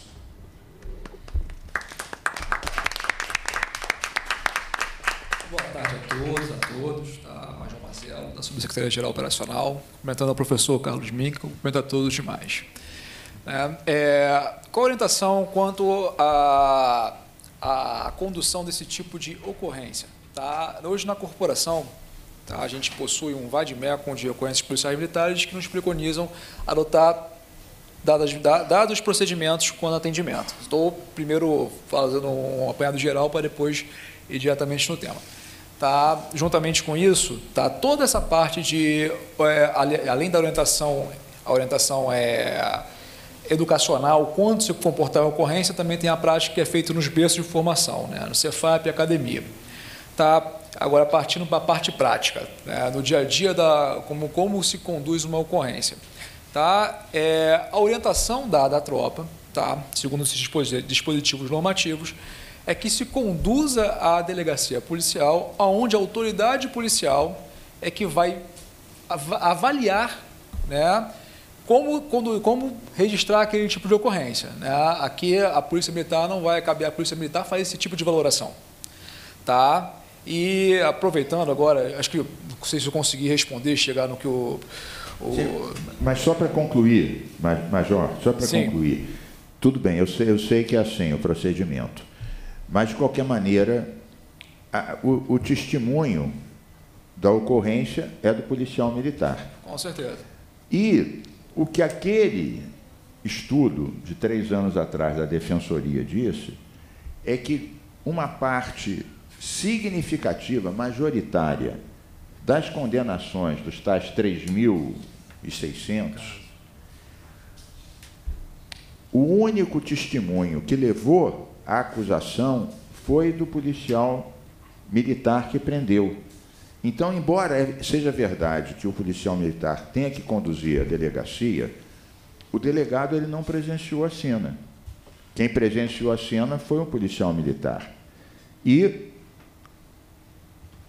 segundo a defensoria, na maior parte dos processos de condenação, o único testemunha de acusação que levou à prisão de um usuário como sendo traficante veio do policial que conduziu a ocorrência. Então, não é só a questão de levar, é, é, a questão da interpretação dos fatos, do relatório dos fatos e do testemunho. Um breve, um breve complemento aqui do, do Ricardo Nemer. E tem uma, uma questão. Tem uma questão bem. Tá, não tá, o som está ruim. Tem, tem uma questão muito importante, né, é que é uma prova diabólica, porque você provar que não ia vender é uma prova negativa. Então é difícil você, em juízo, você negar que você estava com baseado que você não ia vender. E, e a valoração que dão né, a, a, a, ao que o policial diz, tá, ele deixa o usuário numa situação de derrota. Porque como é que você vai provar que não fez? É uma coisa que você não fez. A gente chama de prova diabólica, porque a prova diabólica no direito, na Inquisição, era uma prova que só o diabo era capaz de fazer, porque era impossível. Agora, só rapidinho, desculpa, Mink, é só o seguinte: a súmula 70, que o Ricardo acabou de citar, a súmula é assim: o fato de restringir-se a prova oral a depoimentos de autoridades policiais e seus agentes não desautoriza a condenação. Então, isso tudo é porque a justiça, da, é, é, a justiça apoia apenas o depoimento do policial militar. A culpa não é da polícia, não. A culpa é da justiça. É da justiça. É verdade. É, Nós gostamos. Depois de todas essas interrupções, vamos começar a contar do zero aqui o tempo do, do Major Marcelo, que houve a parte do a parte do a parte. Então, volta a palavra para o Major Mazelo. Opa. Vamos lá. É, só para concluir, né, a gente não consegue, a gente tem que sempre dar um, uma, uma, comentada. Tá? É, o, mais que chama a atenção, que o, o cabo policial, a descrição do que aconteceu, tá? O que ele encontrou no local ele tem que relatar. E assim, ele não pode falar pelo, né, pelo ali o, o conduzido. Então, se por acaso perguntar, é óbvio que a gente vai numa ocorrência, a gente vai, vai arguir lá presencialmente, né, a pessoa, segundo fulano, ele falou que está fazendo isso. E aí cabe a autoridade fazer, não cabe o policial, o policial militar, né, ele é orientado nos meios de formação a não fazer, é, não, não, não ter, é, agora me foge a, a palavra exata. Uma ilação. É, não, não, cabe ao policial militar, cabe ao policial militar conduzir a ocorrência e os fatos, entregar daquela forma. Tá? Não cabe, além disso, não cabe ele prospectar o que aconteceu, o que deixou de acontecer, somente relatar o que foi encontrado, o que foi visualizado. Tá? Aí eu acho que agora já já esgotei aí essa parte da resposta, né? Então, agora me sinto, eh, vou fazer um comentário geral, tá? Então, primeiramente aqui, é, eu, como eu falei, eu faço parte da Subsecretaria Geral Operacional, tá? A gente, na Polícia, a Secretaria de Polícia Militar, ela, ela tem por norte cumprir toda a legislação vigente, isso por óbvio, Tá? E também a gente tem uma, a gente também cumpre todas, todas as normativas que regem a parte de direitos humanos, né? Então só para deixar isso como né, premissa, né? É o óbvio, mas sempre o óbvio tem que ser dito. Né? A gente tá, já acompanha aqui o depoimento de todos os participantes, né? Como o senhor Júlio aqui, né? O que, que a gente pode falar? Né? Eu sei que a ocorrência não foi diretamente com a Polícia Militar, foi com a, com a outra co-irmã, né? mas é, como o próprio professor Carlos Mink né, falou, hoje a gente tem a presença da COP, que nos ajuda a mitigar esse tipo de ocorrência, tá? não que seja 100% mitigado, mas ajuda potencialmente mitigar esse tipo de ocorrência. Né? Hoje também estamos sob o protocolo da DPF 635, então qualquer operação que a gente venha fazer tem que ser comunicado ao Ministério Público, tá? A gente sofre, é, a gente sofre entre aspas, tá? A gente sofre, que eu falo, fiscalização tá, contínua do Ministério Público, qualquer tipo de ocorrência que gere alguma dúvida, o Ministério Público nos argue de imediato, ele tem acesso imediato às operações que, são, que ocorrem. Tá? É, agora, meio pegando a, segunda palestrante, que já foi embora, a senhora Lilian, né, é, é, é a gente aqui a gente tem, a gente tem essa, esse norte de apoiar, muito nos nossos berços de formação, a gente tem seminários na área de, de direitos humanos para conscientizar a situação é, dos usuários, tá? não só usuários, como outros públicos, como de, de grupos vulneráveis. Tá? E vamos lá. Ter, não, a terceira palestrante, e já envolve aqui com o doutor aqui, né, a questão do PP do Jacarezinho, eu infelizmente eu me sinto prejudicado ao comentar porque não tenho conhecimento sobre o assunto. O que eu posso reportar é que a gente tem uma coordenadoria de polícia pacificadora que é, se debruça sobre o tema. Provavelmente o, esse relatório de inteligência partiu dessa, desse comando de polícia pacificadora, mas eu me sinto prejudicado ao comentar. Tá? O, que eu posso, o que eu posso falar é que a gente tem órgãos como a Subsecretaria de Inteligência, a Coordenadoria Geral da Polícia Militar, que pode vir a dar maior claridade o que aconteceu nesse tipo de caso. Né? A Polícia Militar é uma instituição pública, está aberto à comunicação e esclarecimento dos fatos. Tá? É, a Polícia Militar, agora no seu dia 19 de maio, né, apoia com policiamento a Marcha da Maconha, que vai acontecer agora nesse domingo. Tá? A gente apoia qualquer ação popular. Dois minutos, né? É, Outra, o, tivemos aqui a, a, senhora Paula da SESEC, né, que comentou aí também sobre as operações policiais.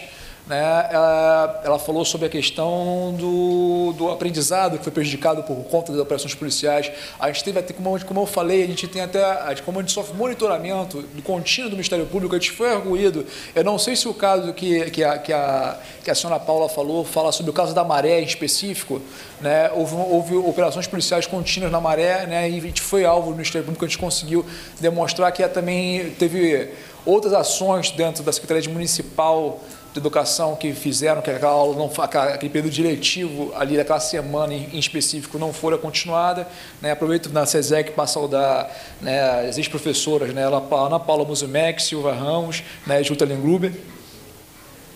E acho que eu consegui consegui é, falar todos aqui que comentaram, né, um pouquinho sobre todos que comentaram, tá? E a gente deixa sempre a oportunidade de, de qualquer um aqui que se sinta na vontade de fazer qualquer arguição junto à instituição, fique à vontade, tá? A Polícia Militar é uma instituição democrática de portas abertas e sempre, logicamente, ela sofre, é, sofre fiscalização da, do Ministério Público, né, que é, é responsável pela fiscalização das polícias, mas também né, está liberado portas abertas ao, ao povo, né, que é para quem a gente presta esse serviço né, de policiamento.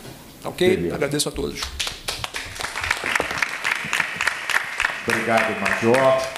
Vamos ouvir agora a, a doutora Lúcia Helena Silvia Barros de Oliveira, da Defensoria Pública do Rio de Janeiro. Ela é defensora coordenadora da Defesa Criminal. A doutora Luciana já participou de várias audiências aqui e tem é, uma participação qualificada. Por favor, a palavra é sua. Bem, boa tarde a todas as pessoas que estão presentes, as pessoas que nos assistem. Eu, inicialmente, em nome da Defensoria Pública, eu gostaria de agradecer o convite à nossa instituição, deputado Carlos Mink.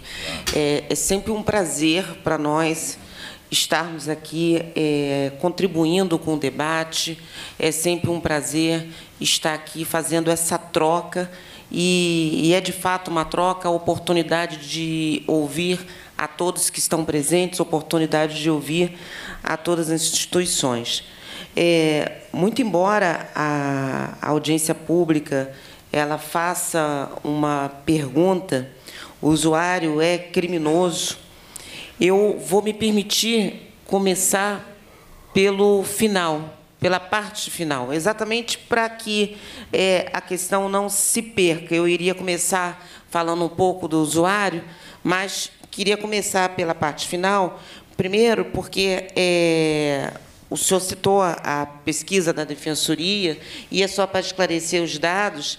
Né? Então, a pesquisa analisou 2.591 sentenças. Então, errei por mil, botei mil. Isso. Data Pro... mim que foi impreciso. Proferidas entre agosto de 2014 e janeiro de 2016, envolvendo 3.745 acusados de infringir a Lei 11.343. Ah, então daí que eu tirei o 3.700. Então Isso, foi daí. Então não exatamente. O senhor não está completamente não errado. Não estava completamente errado. E concluiu que 53,79% das condenações baseiam-se apenas nos depoimentos dos agentes de segurança que efetuaram a prisão. 91,16% das decisões não levaram em consideração as condições socioeconômicas e pessoais do acusado. De acordo com os dados, poucos foram em sentença em que os juízes analisaram esses critérios para diferenciar a conduta de tráfico e porte de drogas para uso pessoal. E eu fiz questão de começar por aqui, e muito embora a gente esteja falando da figura do usuário, mas a gente sabe da dificuldade que é a separação do usuário do traficante de drogas. E que muitas das vezes, tal qual o Júlio narrou no início, o usuário ele é enquadrado como traficante de drogas. Essa questão muito nos angustia, né? a gente se sente muito angustiado com tudo isso. E respondendo especificamente sobre a súmula 70 do Tribunal de Justiça do Estado do Rio de Janeiro, que diz que o fato de restringir-se a prova oral a depoimento de autoridades policiais e seus agentes não desautoriza a condenação, é, especificamente sobre essa súmula, a Defensoria ingressou em 2018 pedindo a extinção da súmula 70 do Tribunal de Justiça. Felizmente, é, esse processo, esse procedimento administrativo, é um procedimento administrativo, deputado, ele teve, ele teve andamento e ele está indo para o órgão especial para ser julgado se nós manteremos a súmula 70 do Tribunal de Justiça ou não no âmbito do Estado do Rio de Janeiro. Mas o, órgão questão, especial do TJ. Aqui. Órgão especial do Tribunal de Justiça. E é pensando nisso que a gente atualizou as nossas pesquisas. Então, nós temos dados atuais, né, que estamos juntando a esse procedimento administrativo. Nós temos alguns pareceres que é, nos alimentam na nossa proposta né, de extinção da súmula, exatamente por achar que não há espaço né, para rebaixamento, e eu vou usar um termo técnico, mas eu já já eu torno a linguagem mais fácil, não há espaço para um rebaixamento do estándar probatório. Não há espaço para rebaixamento do, da, das provas. Né? Nós da obrigação de provar. Nós precisamos ter provas sólidas. E não é com isso, e não é por isso que estamos desacreditando na polícia. Não é por isso que estamos desacreditando na polícia militar ou na polícia civil de maneira nenhuma, né? De maneira nenhuma, ou mesmo no judiciário. O que a gente quer é que seja elevado o nível de prova para que a gente possa fazer justiça, para que a gente possa ter a condenação daquele que tem que ser realmente condenado. Né? E a absolvição daquele que tem que ser absolvido. Nós não podemos né, ter é, no, nós não podemos ter o nosso sistema penitenciário, o nosso sistema carcerário, né, com uma maioria de pessoas negras. Nós não podemos ter isso. Isso tem que ter uma resposta, tem que ter um fim. Né? E é, eu espero, sinceramente, que a gente consiga fazer a diferença, porque o Rio de Janeiro, o que decide aqui, reverbera em outros estados. Né? Essa questão ela avança para os demais estados, então a gente precisa dar um passo além. E talvez com a vinda das câmeras corporais, talvez isso, eu já vou finalizar, me perdoe, talvez, é, talvez com a vinda das câmeras corporais. É, ela disse que você ainda tem dois minutos. Eu vou, vou chegar lá. Mas eu já estou pedindo desculpa já, porque estou anunciando que vou passar um minutinho, mas é rápido. Tá? É, com a vinda das câmeras corporais, com o incentivo às câmaras corporais, isso é um alimento para que a gente eleve o standard probatório. Não pode. Né? A gente tem meios de trazer a segurança para a população, que é segurança também para a polícia, né? que é segurança também para o judiciário, de condenar aquele que efetivamente tem que condenar. Não é condenar uma pessoa, né? condenar um inocente, condenar um usuário como traficante. Mas respondendo à sua é, pergunta, a pergunta que nos move nessa audiência pública, e que é, eu acho que essa pergunta, usuário é criminoso, ela perpassa por diversas questões. Perpassa por diversas questões, porque é em nome da saúde pública que nós temos o bem jurídico penalmente tutelado na Lei 11343 de 2006, que é a lei de drogas, que trata de política de drogas. Mas será que a gente realmente está falando de saúde pública? Será que a gente realmente está falando de saúde da população, da nossa coletividade? Eu, eu penso que é, a saúde pública, a, a nossa saúde, ela não, pelo menos, não poderia estar separada de uma avaliação de preservação de princípios constitucionais. E eu digo, quando eu falo de princípios constitucionais, eu falo dignidade humana, que é para todas as pessoas, sem distinção, quer seja usuário ou não de drogas. Né? Princípio da lesividade. Será que estamos realmente ofendendo bem de terceiro com a utilização de drogas? Isso tudo são reflexões que são importantes de serem discutidas. Né? É, é importante trazer para o debate. É, o princípio né, da alteridade, será, né, é, será que realmente nós estamos respeitando esses princípios constitucionais? Pois bem, e aí já me encaminhando para o final, é, o criminalizar o usuário de, de drogas é, chamar o direito penal para resolver um problema que está se entendendo como de saúde, chamar o direito penal, que é considerado, todo estudante no primeiro período da universidade aprende que o direito penal é a última rácio, é a última razão. Chamar o direito penal para resolver um problema que estão afirmando, que se afirma ser de saúde, será que estamos trilhando o caminho certo? Talvez a gente tenha que partir né, dessa avaliação, talvez a gente tenha que partir dessa análise dos impactos na sociedade do que é esse, do que é né, dizer para o usuário que ele é criminoso. Tá? Então a gente tem que partir dessa avaliação. Pode ser que a gente entenda conforme está, né? Mas a gente tem que discutir, a gente tem que debater, a gente tem que, a gente tem que colocar na mesa né? e entender realmente se é esse o caminho que vamos trilhar. Muito obrigada, me perdoe por ter passado. É, obrigado você, doutora Lucelena Silva Barros, defensora pública aqui. Vamos adiante aqui. O Ricardo Nemer quer fazer uma rapidíssima pergunta. Doutora Lúcia, é, parabéns pela iniciativa da, da, do pedido de revisão da súmula, não sabia. É, tentamos uma vez, junto à Universidade Federal Fluminense, Departamento de Segurança Pública, porque o próprio regimento diz que as universidades né, de segurança poderiam provocar, mas eu quero perguntar se é de interesse da Defensoria que as instituições é, participem desse processo político e desse debate. E o que você acha da própria Alerj, pela né, que comissão do Cúmplice, né, tente participar ou chamar os desembargadores que vão né, falar sobre isso para debater o assunto. Alô. Olha, é, nós estamos, obrigada pela pergunta, nós estamos contando com apoio de todos, porque o nosso interesse é que seja feita justiça no Estado do Rio de Janeiro e que seja reverberado para os outros estados da federação. Então, queremos muito, sim, o apoio de todos que puderem nos ajudar. A luta não é só da Defensoria Pública, a luta é de todos nós. Perfeito. Obrigado. Muito obrigado.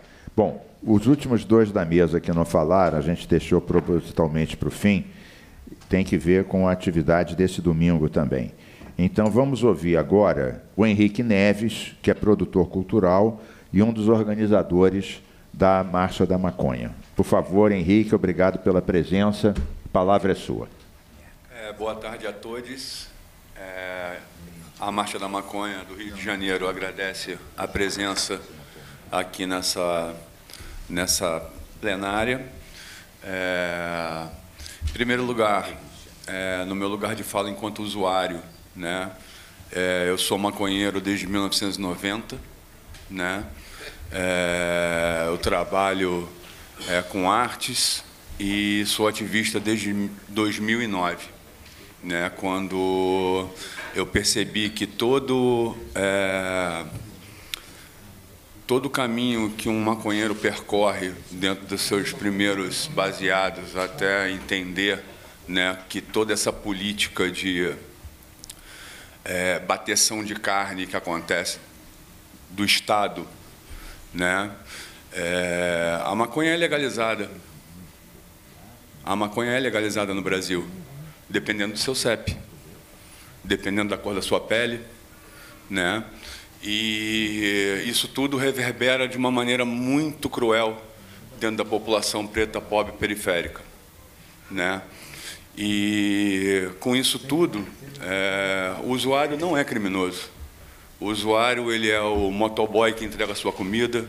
O usuário ele é o seu advogado que te defende em qualquer é, colocação. É o seu professor, né? O usuário é o seu médico. Inclusive um dos maiores usuários e gama de uso de drogas lícitas e ilícitas está na medicina por carga de trabalhos e acesso a determinadas drogas. Então, assim, o usuário, ele não é criminoso. Né? Criminoso é o Estado, que, com a desculpa de proibir ou assegurar né, a saúde de uma população, né, mata, né, tortura, né, é, restringe acesso né? Esse sim é o criminoso, né? É, com relação à marcha da maconha, é um processo que vem desde 2002, né? A gente foi provocado por uma portuguesa que estava no Rio de Janeiro, né? Fez uma primeira um primeiro ato, né? A partir de 2004, 2005 começa-se a ter uma efetividade e uma sazonalidade da, da execução da marcha né? É, em 2009, 2010, 2011, a gente sofre uma repressão da parte do Estado muito grande, né? E junto ao STF, é, a gente consegue o direito de falar sobre maconha, que é um direito que tá, a gente está exercendo aqui agora nesse momento, porque até então falar sobre maconha, falar sobre o uso de drogas, era considerado apologia às drogas né, previsto com punições e sanções da, da lei. Né? É, em 2006 vem a nova lei de drogas, o usuário passa a não ser mais criminalizado, né? O que deveria se diminuir o número de encarceramento, ele aumenta o número de encarceramento, né? por uma questão subjetiva, que já foi discutido aqui de várias maneiras, a, a palavra do, do agente da lei que prendeu o, o usuário, né, a seu CEP, a sua condição financeira. Né. E em 2009, um presidiário, portando duas a três gramas de maconha dentro da sua cela, dentro de um presídio, né, é, é considerado traficante. E começa um processo do Estado contra ele por portar duas a três gramas de maconha dentro de uma cela. Né? O Estado foi omisso na hora que essa droga entrou dentro da cela, né? Mas não é omisso em querer dizer que um usuário de maconha dentro do presídio é traficante também. Né? Isso tudo começa em 2009. 2011 a gente consegue o direito de falar sobre a maconha, falar sobre drogas e não ser considerado apologia, né? Em 2014 a gente consegue o direito, né, de ter acesso à maconha medicinal, né? E e agora, de 2020 para cá, a gente sofre uma onda conservadora, uma onda é, completamente hipócrita, de uma parte da sociedade que a gente sabe muito bem que é quem controla o tráfico de drogas, que são os financiadores do tráfico de drogas, que são os maiores responsáveis. Está né? Tá tudo no artigo 36, um dos artigos menos usados na lei de drogas. O André, com certeza, depois vai falar sobre isso. É...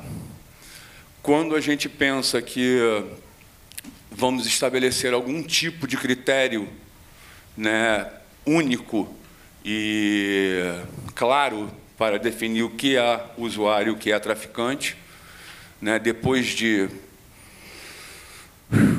depois de 12, 13 anos, quando o STF resolve realmente julgar essa causa, o que acontece é que vem uma onda conservadora do Senado, né, na presença do Lira, na presença do Pacheco, né, e vem para vem com a PEC 45, que volta a criminalizar o usuário, né?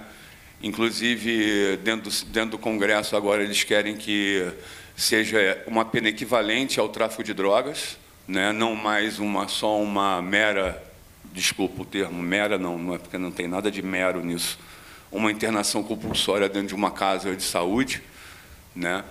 Não tem nada de mero nisso, desculpem as minhas palavras. E a gente se pega de novo num retrocesso do mundo. Né? A gente tem, esse ano, a Alemanha né, legalizando o uso e o porte de determinada quantidade. A gente tem os Estados Unidos, ontem, o Biden né, é, está reclassificando a, a maconha né, da, do nível 1 para o nível 3. Isso vai facilitar né, a federalização da legalização da maconha nos Estados Unidos.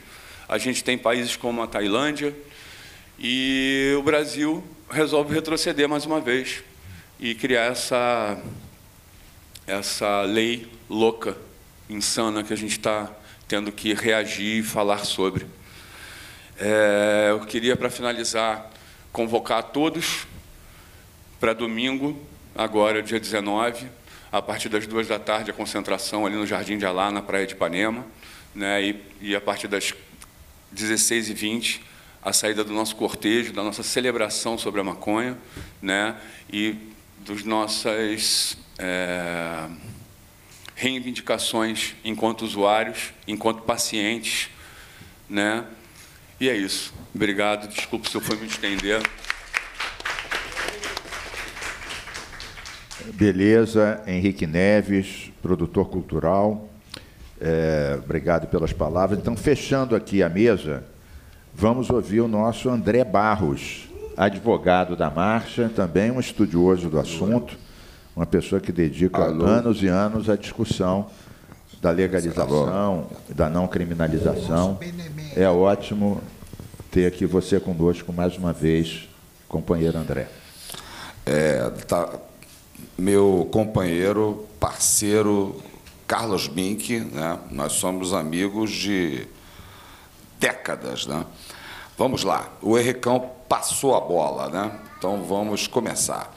A lei de drogas tem três crimes: comprar, vender e financiar. Comprar é o artigo 28, que não existe mais a pena de prisão, que é o portar para uso próprio, plantar pequena quantidade para uso próprio. Artigo 28. O vender é o artigo 33. A pena é de 5 a 15 anos de reclusão. É nesse artigo que eles balearam o Júlio, prenderam o Júlio e prendem milhares de pessoas, jovens, negros e pobres no Brasil. E tem o artigo mais grave da lei de drogas, o artigo 36, financiar e custear o tráfico de drogas. Pena. 8 a 20 anos de reclusão, maior que a pena do homicídio simples, que é de 6 a 20 anos de reclusão. Nesse artigo 36, eu sou advogado criminal desde 1988, sou filho de advogado criminal e sou amigo, meu pai era amigo, dos grandes advogados do Rio de Janeiro, só dois, Nilo Batista e Técio Liz e Silva, né? e vários delegados de polícia. Nunca um disse para mim que viu um inquérito policial no artigo 36 da Lei de Drogas. A finalidade do inquérito policial é preparar a ação penal, a denúncia do Ministério Público. O Ministério Público só denuncia se tiver o inquérito policial e a finalidade do inquérito policial é investigar, certo? Então é o seguinte, pessoal, se não existe inquérito policial no artigo 36, nós podemos afirmar que não existe combate ao tráfico de drogas, porque não existe investigação no crime principal, que é o artigo 36. Então, o que a gente vive aqui no Rio de Janeiro é uma farsa, é racismo. Então, legalmente, está provado que não tem combate ao tráfico de drogas. Agora, vamos ao mercado, porque a maconha, como cerveja, como açúcar, como café, é o mercado. Todo mercado tem uma cadeia produtiva. Qualquer produto de um mercado tem uma cadeia produtiva. No caso da maconha, qual é a cadeia produtiva? Plantar, produzir, distribuir, distribuição, atacado e varejo. Só que na favela, antes do varejo, tem o setor de indolação porque nunca ninguém viu na favela o cara chegar, entregar, chegar lá na boca, tem um quilo, o cara diz assim, tira, tira um pedaço aí. Não, já vem tudo endoladinho. Cinco reais, dez reais, barato para o pobre comprar. Porque a classe média não compra na favela. Isso é conversa fiada. Pouquíssimos vão na favela. Pouquíssimos. Então eles entregam para os garotos a carga. O que é a carga? São quilos já tudo em pequenas partes, para ter o controle. Então, esse negócio que a gente vive no Rio de Janeiro, da polícia ser mandada, porque a polícia, a polícia, a polícia é a ponta da ponta também. A polícia militar é a ponta da ponta. A polícia ir na favela para reprimir o, o cara que recebe uma carga indolada e dizer que isso é combate ao tráfico de drogas, nós estamos falando de um mercado de toneladas. Só uma carga que chegou, porque por acaso o governo atual veio investigando, veio fazendo interceptação telefônica, e viram que tinha uma carga que, quando chegou no Rio de Janeiro, ela, obviamente, tem que ser escoltada. Da mesma forma que tem um cara do morro que está com um fuzil para proteger aquela carguinha de 2 quilos, a carga de toneladas que vem do Paraguai tem a escolta. E quando chegou no Rio de Janeiro, a escolta era feita pela polícia, inclusive, no, no, caso, a polícia civil. Mas eu não quero acusar a polícia, porque esse negócio de ficar falando de falar mal da polícia, entendeu? Porque não é a polícia. São milionários e bilionários. Isso são operações financeiras. O caminhão de carga que chegou na cidade da polícia, um caminhão, tinha 37 toneladas de maconha. Se tu botar um real o grama, a carga era de 37 milhões. E a interceptação viu que a polícia que entregou essa carga no, na favela de Manguinhos, que fica do lado, recebeu 200 mil. Recebeu um trocado. Trocadinho. Uma carga de 37 milhões. Então, concluindo, deve rolar no Rio de Janeiro, por mês, de maconha, uma carga 100 toneladas de maconha. Pode ter certeza, pode ter certeza. Então, é o seguinte, pessoal, finalizando o seguinte: o único movimento social que tem uma proposta real e concreta para a segurança pública do Rio de Janeiro, porque essa coisa do Rio de Janeiro ficar o comando vermelho, terceiro comando, milícia, e o jornal botando aí todo dia o cara lá na, televisão, pegamos não sei o quê, porque no Rio o pessoal gosta de uma novela, né? Eu também gosto de novela. Aí viraram, virou uma novelinha. Novelinha CV, TC, milícia, isso não manda nada, rapaz. Isso não manda nada. Alguém já viu um milionário preso por tráfico de droga do sistema penitenciário brasileiro? Porque para mim é o seguinte: se o cara não é milionário, ele não é traficante. Isso é papo furado. Isso é papo furado. Então, finalizando o seguinte: e não vai resolver. E se ficar nessa, não vai resolver. Perseguir é, comando não sei o quê, comando não sei o quê lá, achar que na favela, que, que no presídio, facção. Pô, se os caras tivessem moral, inclusive, para começar, não revistariam a mãe deles, a, a, a, filha deles, do jeito que revistam numa, numa penitenciária. Se eles tivessem alguma força, né? Então, o único movimento social sério que faz uma proposta séria sobre segurança pública no Rio de Janeiro, para iniciar a conversa, é a Marcha da Maconha. É a Marcha da Maconha. O resto, porque só tem um jeito, tem que legalizar. Porque os Estados Unidos já estão tá aqui vendendo maconha em óleo, dominando o nosso mercado. Estados Unidos, Canadá, Reino Unido, né? E para nós temos que a legalização da maconha é uma questão de segurança pública. E, na minha visão, para gerar emprego, como vem acontecendo nos Estados Unidos, a gente tem que legalizar a plantação, a produção, a distribuição, o atacado. E eu quero até saber o setor de idolação. Tem maior curiosidade, deve ser maneiríssima, né? Pô, os caras. É, é, maneiro pra caramba, é bonito, as dolinhas, né? As dolas, bonita, né? E o varejo da maconha, para começar a falar sério sobre segurança pública. A boca de. Ah, tem que ser vendido na favela para gerar emprego, renda, para o dinheiro ficar para esses bilhões. Bilhões. 37 milhões só no caminhão. Já pensou se Manguinhos, um milhão que todo mês vende, terminando um milhão que todo mês vende, ficasse na favela de Manguinhos, né? É isso. Desculpa. Valeu, valeu, André. Inclusive, André Barros, um dos setores que se opõe à legalização é o traficante, porque hoje ele acaba tendo o monopólio, o monopólio da venda, tirando os, os autoplantadores. Né? Bem, pessoal, nós todos da mesa já, já falaram. Nós temos cinco inscrições, uma reinscrição do júri. Nós temos cinco inscrições. Vamos dar dois minutos para cada um, porque a gente está no avançado da hora. A mesa também teve a sua biodiversidade, né? todos os setores foram. Então, vou pedir para a nossa dileta assessoria que controle dois minutos. Né? Então, nós temos inscritos aqui o Rafael Coelho, da Sociedade Civil, João Menezes, da UFRJ, a Xamã Siriane, né, dos povos, povos indígenas, a Monique Prado, né, também está aqui como sociedade civil, o Júlio Barroso, que já foi o primeiro depoimento, ele quer, quer se reinscrever e, como foi citado por vários, tem, tem o direito à tréplica. Também dois minutos. Então vamos dar dois minutos para cada um e depois, para concluir, vamos ver, não, não obrigatoriamente todas as pessoas da mesa. Quem sentir que foi citado, ou foi provocado, ou quer esclarecer algum ponto, então também terá direito, naturalmente, a poucos minutos para, para completar. Então, chamo Rafael Coelho da sociedade civil para, para o seu depoimento, para a sua intervenção. Obrigado pela presença. Boa tarde a todas e a todos.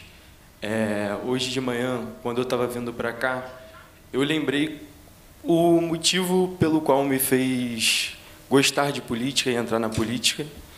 E foi justamente porque, é, quando eu tinha 15 anos, eu vi uma notícia de um garoto que se chamava João Pedro, e ele tinha sido é, finalista na Olimpíada de Matemática. Ele era morador do Complexo do Alemão. E esse garoto ele foi alvejado, foi assassinado pelo Estado. Então, naquele dia, é, surgiu uma interrogação na minha cabeça, que é por que essa criança está sendo assassinada pelo Estado. E desde aquele dia eu estudei muito segurança pública, né? É, participei de vários debates como esse aqui, e hoje eu tenho a resposta para isso, né? É, essa guerra ela continua justamente porque tem muitas pessoas que lucram com ela, tem muitas pessoas que ganham com ela. Então, políticos, até mesmo alguns dessa casa, se autopromovem com o discurso da segurança pública, com o discurso da guerra aos pobres. Né? Os senadores que estão votando a PEC também.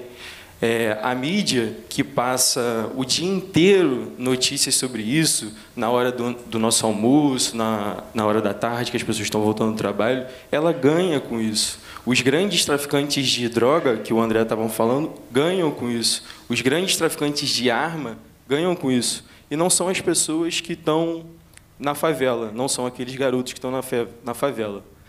Então, é, eu acho que chegou o momento da gente dar um passo à frente, tratar esse assunto com uma seriedade maior e trazer à tona a urgência da legalização da maconha no Brasil. Né? a gente está recuando muito, né, falando de criminalização, mas a gente não quer só a descriminalização, a gente quer a legalização da maconha no Brasil.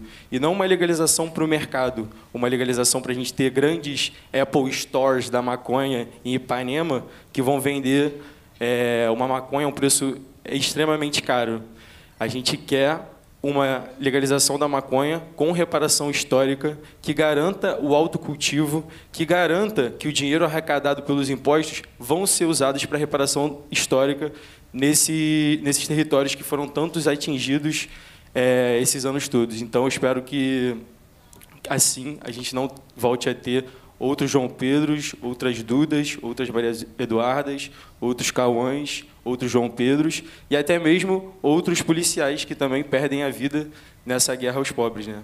Então, para concluir, viva a luta antimanicomial, viva a redução de danos e viva o movimento antiproibicionista. Muito bom. Obrigado, Rafael Coelho, pelo seu depoimento. Vamos ouvir agora João Menezes, da UFRJ. Obrigado também pela presença.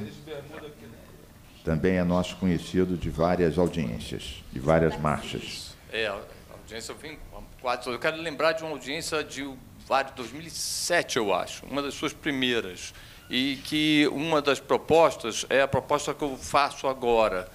É, que é aquela de que só pode haver crime de tráfico. Eu sei que tem uma parte federal, mas a gente pode fazer muita coisa em parte estadual em vários pontos, eu imagino que alguns possam é, dar esses pontos, e que o tráfico o, só pode ser, a pessoa só pode ser indiciada, acusada de tráfico mediante, mediante investigação.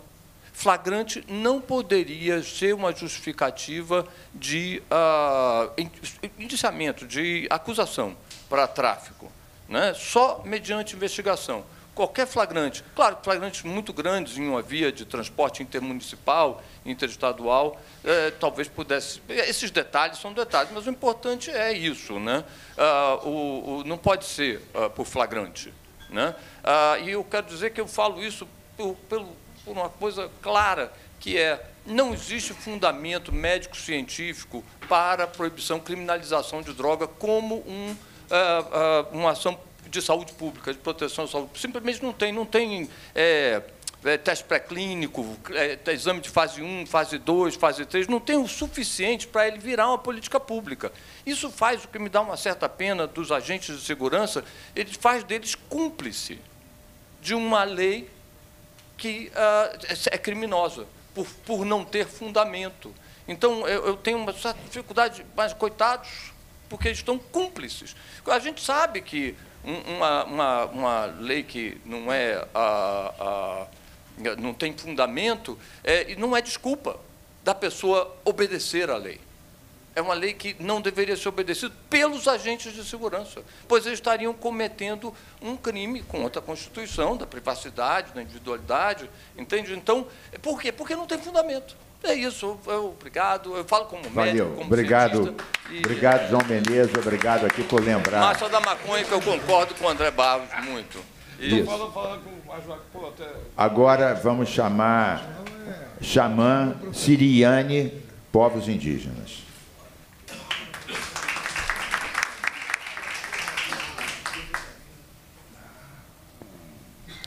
Muita gratidão a todos. Eh, quero agra- agradecer o grande Espírito. Eu quero agradecer a todos os Espíritos da luz aqui para proteger o que a gente está falando. Nos guiamos sempre dentro da luz. Eu queria contar uma história.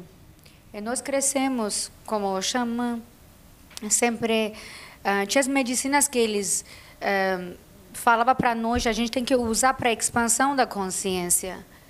E uma dessas medicinas sagradas chama Chororuma, que que eu acho que aqui eles chamam maconha. Mas maconha não é chururumã, porque a chururumã é uma medicina de expansão da consciência. Uma medicina que para você usar, você tem que rezar, tem que fazer dieta, tem que sentar numa roda, uma roda espiritual. E tem que cantar ícaros sagrados e você vai usar. E aí você vai conectar com o espírito dela e ela vai trazer informação da astral para você, para você poder curar a outras pessoas. E antigamente só os xamãs poderiam usar essas medicinas. Não foi uma coisa que se vendida fora como traficante. Minha pergunta, como que essa medicina tão sagrada agora é uma droga? E como que traficante está vendendo essa medicina tão sagrada que nosso povo não dá para outra pessoa? Só o xamã poder usar isso. Então, é, para nós, essa não é uma droga. Essa é uma medicina, um espírito muito sagrada. Como que essa medicina está misturada com uma droga? Gratidão. Obrigado. Obrigado. Eu tive também muito contato eh, com o Alex Polares e a, a comunidade Santo Daime, que foi uma comunidade que conseguiu legalizar. O, o, o Supremo considerou que era uma droga espiritual, usada para fins espirituais de uma comunidade. E eu sou amigo do Alex do tempo da, da resistência, a ditadura, ele continua. Viveu muitos anos na Amazônia, agora está em Visconde de Mauá. Isso é importante dizer que é uma droga que, depois de muita luta, foi reconhecida como uma droga para fins espirituais. Ou seja, ninguém pode ser preso por produzir ou usar o, o daime, o ayahuasca, porque assim foi reconhecido. Então é interessante esse seu depoimento. Bem, ouçamos agora a Monique Prado, está aqui presente, já disse que ela trabalhou muitos anos conosco, é responsável por algumas dessas legislações, ajudou a organizar no passado algumas audiências como essa. Monique Prado, Olá. um prazer vê-la aqui, forte, combativa como sempre. Boa, parabéns pela audiência, Mink. Parabéns também, Natália. Trabalho lindo, muito bom ouvir todo mundo. Eu quero fazer para vocês um convite, dia 24 de maio, sexta-feira que vem, às 18 horas. A gente vai fazer uma entrega de moções antiproibicionistas para grupos coletivos, grupos de pesquisa, enfim, para todo mundo que está ligado a essa luta antiproibicionista, que está agindo, está pesquisando sobre isso. E a gente quer que seja um grande encontro da gente se ver, se olhar, se abraçar, é, fazer fumaça também. E no final vai ter um momento de confraternização. O deputado estadual Carlos Mink, você está super convidado. A gente quer Onde muito é a que sua vai ser? presença. Vai ser na Câmara Municipal, aqui do Rio de Janeiro, na Cinelândia, bem pertinho do metrô, assim, na cara do metrô. Então, quem quiser, por favor, compareça. Obrigada. Obrigado você, Monique. Agora, excepcionalmente, o próximo é uma reinscrição do Júlio Barroso, mas como ele foi muito citado, tem direito à tréplica. Bem, eu vou ser bem rápido. Primeiramente, eu quero agradecer ao deputado Carlos Mink pelo, pelo convite. Quero parabenizá-lo pela iniciativa muito importante para a nossa sociedade, né? para a nossa comunidade carioca. E eu, eu vim aqui para fazer também um convite que, além de domingo, que vai ter a Marcha da Maconha, vai ser lá do, do Jardim de Alá, né? Saída do Jardim de Alá, na- lá na, na, na praia de Ipanema, ou a praia do Leblon, nunca sei. No dia 8 de junho, vai ter a Marcha da Maconha da Lapa, que vai ser no sábado. Então, no dia 8 de junho, já está autorizado, inclusive, pela Polícia Militar, pela gloriosa Polícia Militar já autorizou a Marcha da Maconha da Lapa. Então, vai ser dia 8, às 4h20, saída dos Arcos da Lapa, até o Largo da Lapa. Né? Vamos ter a participação do Planta na Mente também. Então está todo mundo convidado. E é isso então que eu gostaria de falar aqui. Valeu, Júlio, obrigado. Agora eu faço uma pergunta aos integrantes da mesa. Como eu disse, não é obrigado. Se querem fazer alguma consideração que julgam que diz respeito à sua intervenção, à sua atividade, eh, esclarecendo ou respondendo algumas das questões que foram levantadas. Bom, é, só vou. Ricardo Nemer. Só vou reforçar aqui que é super importante apoiarmos essa iniciativa da Defensoria Pública. Entendeu? É, Verdade. é- eu- eu é- vou fazer com que a Assembleia se associe. É algo que. Vou tentar, tentar. Que fora de brincadeira, há 14 anos eu, eu milito na área de política de drogas, estudei como essa súmula ela foi feita a, não vou falar a toque político, tá? sem debate, e louvável e precisamos apoiar. O, o Ricardo, deixa eu te dizer uma coisa. Tem uma questão, uma súmula, outra, essa a gente conseguiu derrubar, mas não era sobre esse assunto, era sobre eh, consumo, né? que era uma que considerava eh, várias ações de consumidores que se sentiam prejudicados como mero aborrecimento. Tinha um, um número, que obviamente eu me esqueci qual é que era. Pode ser 14 ou 18, não sei qual o número. Então, nós fizemos uma audiência pública na antiga Lerge, no plenário. Tinham eh, umas 300 pessoas, muitos advogados eh, especializados em direito do consumidor, né? Eh, tinha desembargadores, pro- promotores, houve um movimento e, eh, doutora Lucelena, nós conseguimos, com base nesse movimento, derrubar a súmula número tal que eu esqueci, que eh, transformava todos esses processos em mero aborrecimento. Então você, você, é, em suma, foi prejudicado pela, pela Light, pela Telefônica, etc., etc.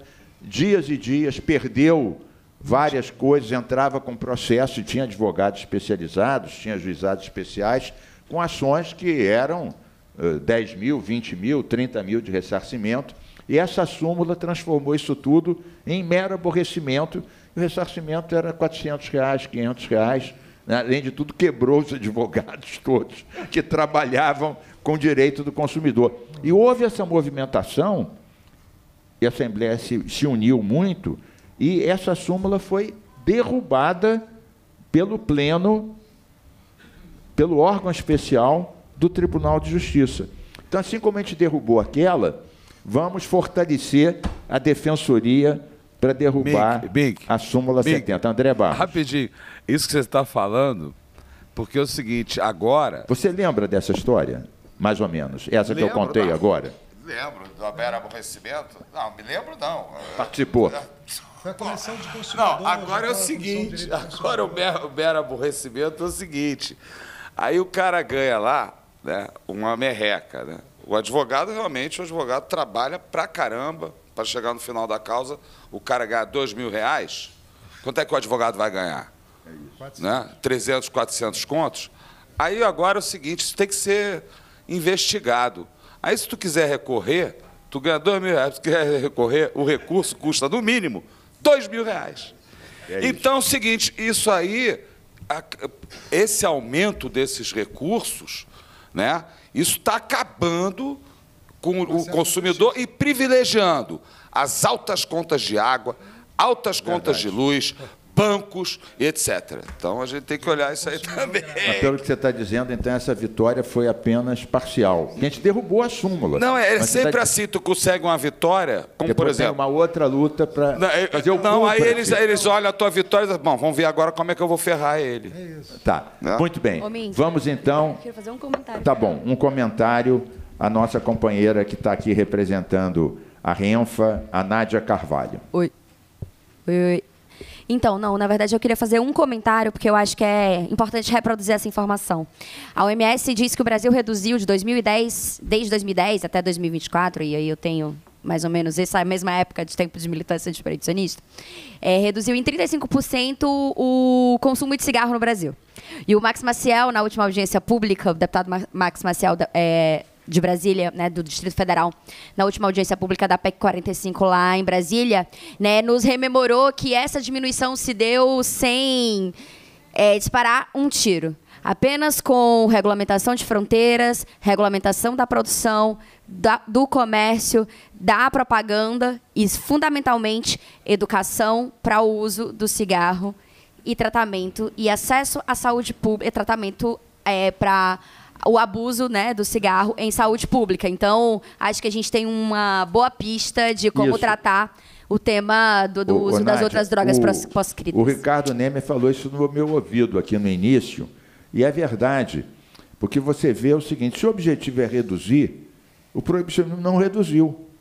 Mas a, a- a campanha do cigarro, inclusive aquelas fotos, eu já vi que daquelas fotos horríveis que tem atrás dos maços, como o, o brasileiro homem é muito machista, uma das piores é aquela da brochação, né, que realmente é verdade isso. Né, entope lá ah, os vasos.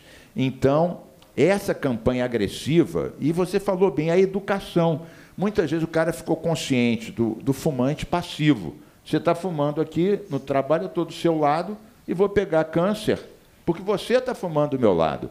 Então, esse tipo de campanha acabou sendo muito mais efetivo, não matou ninguém, ao contrário, acabou livrando milhares de mortes por câncer, vários tipos de câncer, pulmão, laringe, língua, tudo, sem disparar um tiro, sem pre- prender um jovem, apenas trabalhando, eh, conscientizando a sociedade. Bem lembrado. É, o nosso companheiro Henrique Neves quer fazer um último comentário curto também. Estamos já partindo para o finalmente, vamos concluir. Alô, alô? Alô, alô? É, só para só concluir nesse, nesse raciocínio, né, a gente tem vários mercados de drogas legais, como chocolate, como café, como as farmácias, as cervejas, né? E a gente não vê a Antártica né, guerreando e eh, usando armas de guerra contra a Skol ou contra a Heineken, né? A gente não vê dentro de um bar, né? É, uma separação, né? Destilados para a direita, né? Fermentados para a esquerda, né? A gente não vê nenhum tipo de guerra para controle de ponto entre a Cacau Show e a Copenhague, né? Isso tudo são é, mercados de drogas legais, lícitas, é, que são regulados. Né, e que não geram nenhum tipo de violência à população preta, pobre e periférica. É verdade. Brigam É nos isso. tribunais, brigam na televisão, brigam nos preços. Exatamente, é o mercado. A mas Ambev não comprou todas as gente cervejas. armada para matar o adversário, o Né? concorrente. É uma questão de mercado, Bem por exemplo. lembrado, Henrique. A Ambev comprou a Antártica, comprou a Brahma, comprou a Skol, comprou praticamente todas as marcas de cervejas nacionais. Né? Isso é uma questão de mercado né? Boa. e não de guerra. Bem lembrado, Henrique. Bom, vamos então declarar essa audiência encerrada, mas não a luta por uma política democrática de drogas, contra o encarceramento abusivo, contra a criminalização dos usuários, e vamos continuar avançando, seja com a cannabis medicinal, seja tentando impedir que o Congresso aprove esse absurdo e acompanhando a conclusão desse julgamento do Supremo, que não vai resolver o problema, mas vai pelo menos impedir que um usuário com quantidades pequenas possa ser injustamente. E vamos sim adotar a posição que o Nemer levantou aqui, de divulgar e apoiar essa ação da Defensoria contra a, a cláusula, a súmula, melhor dizendo, a súmula 70.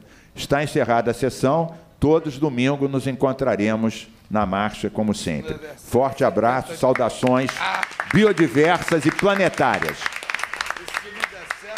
Tenta de novo.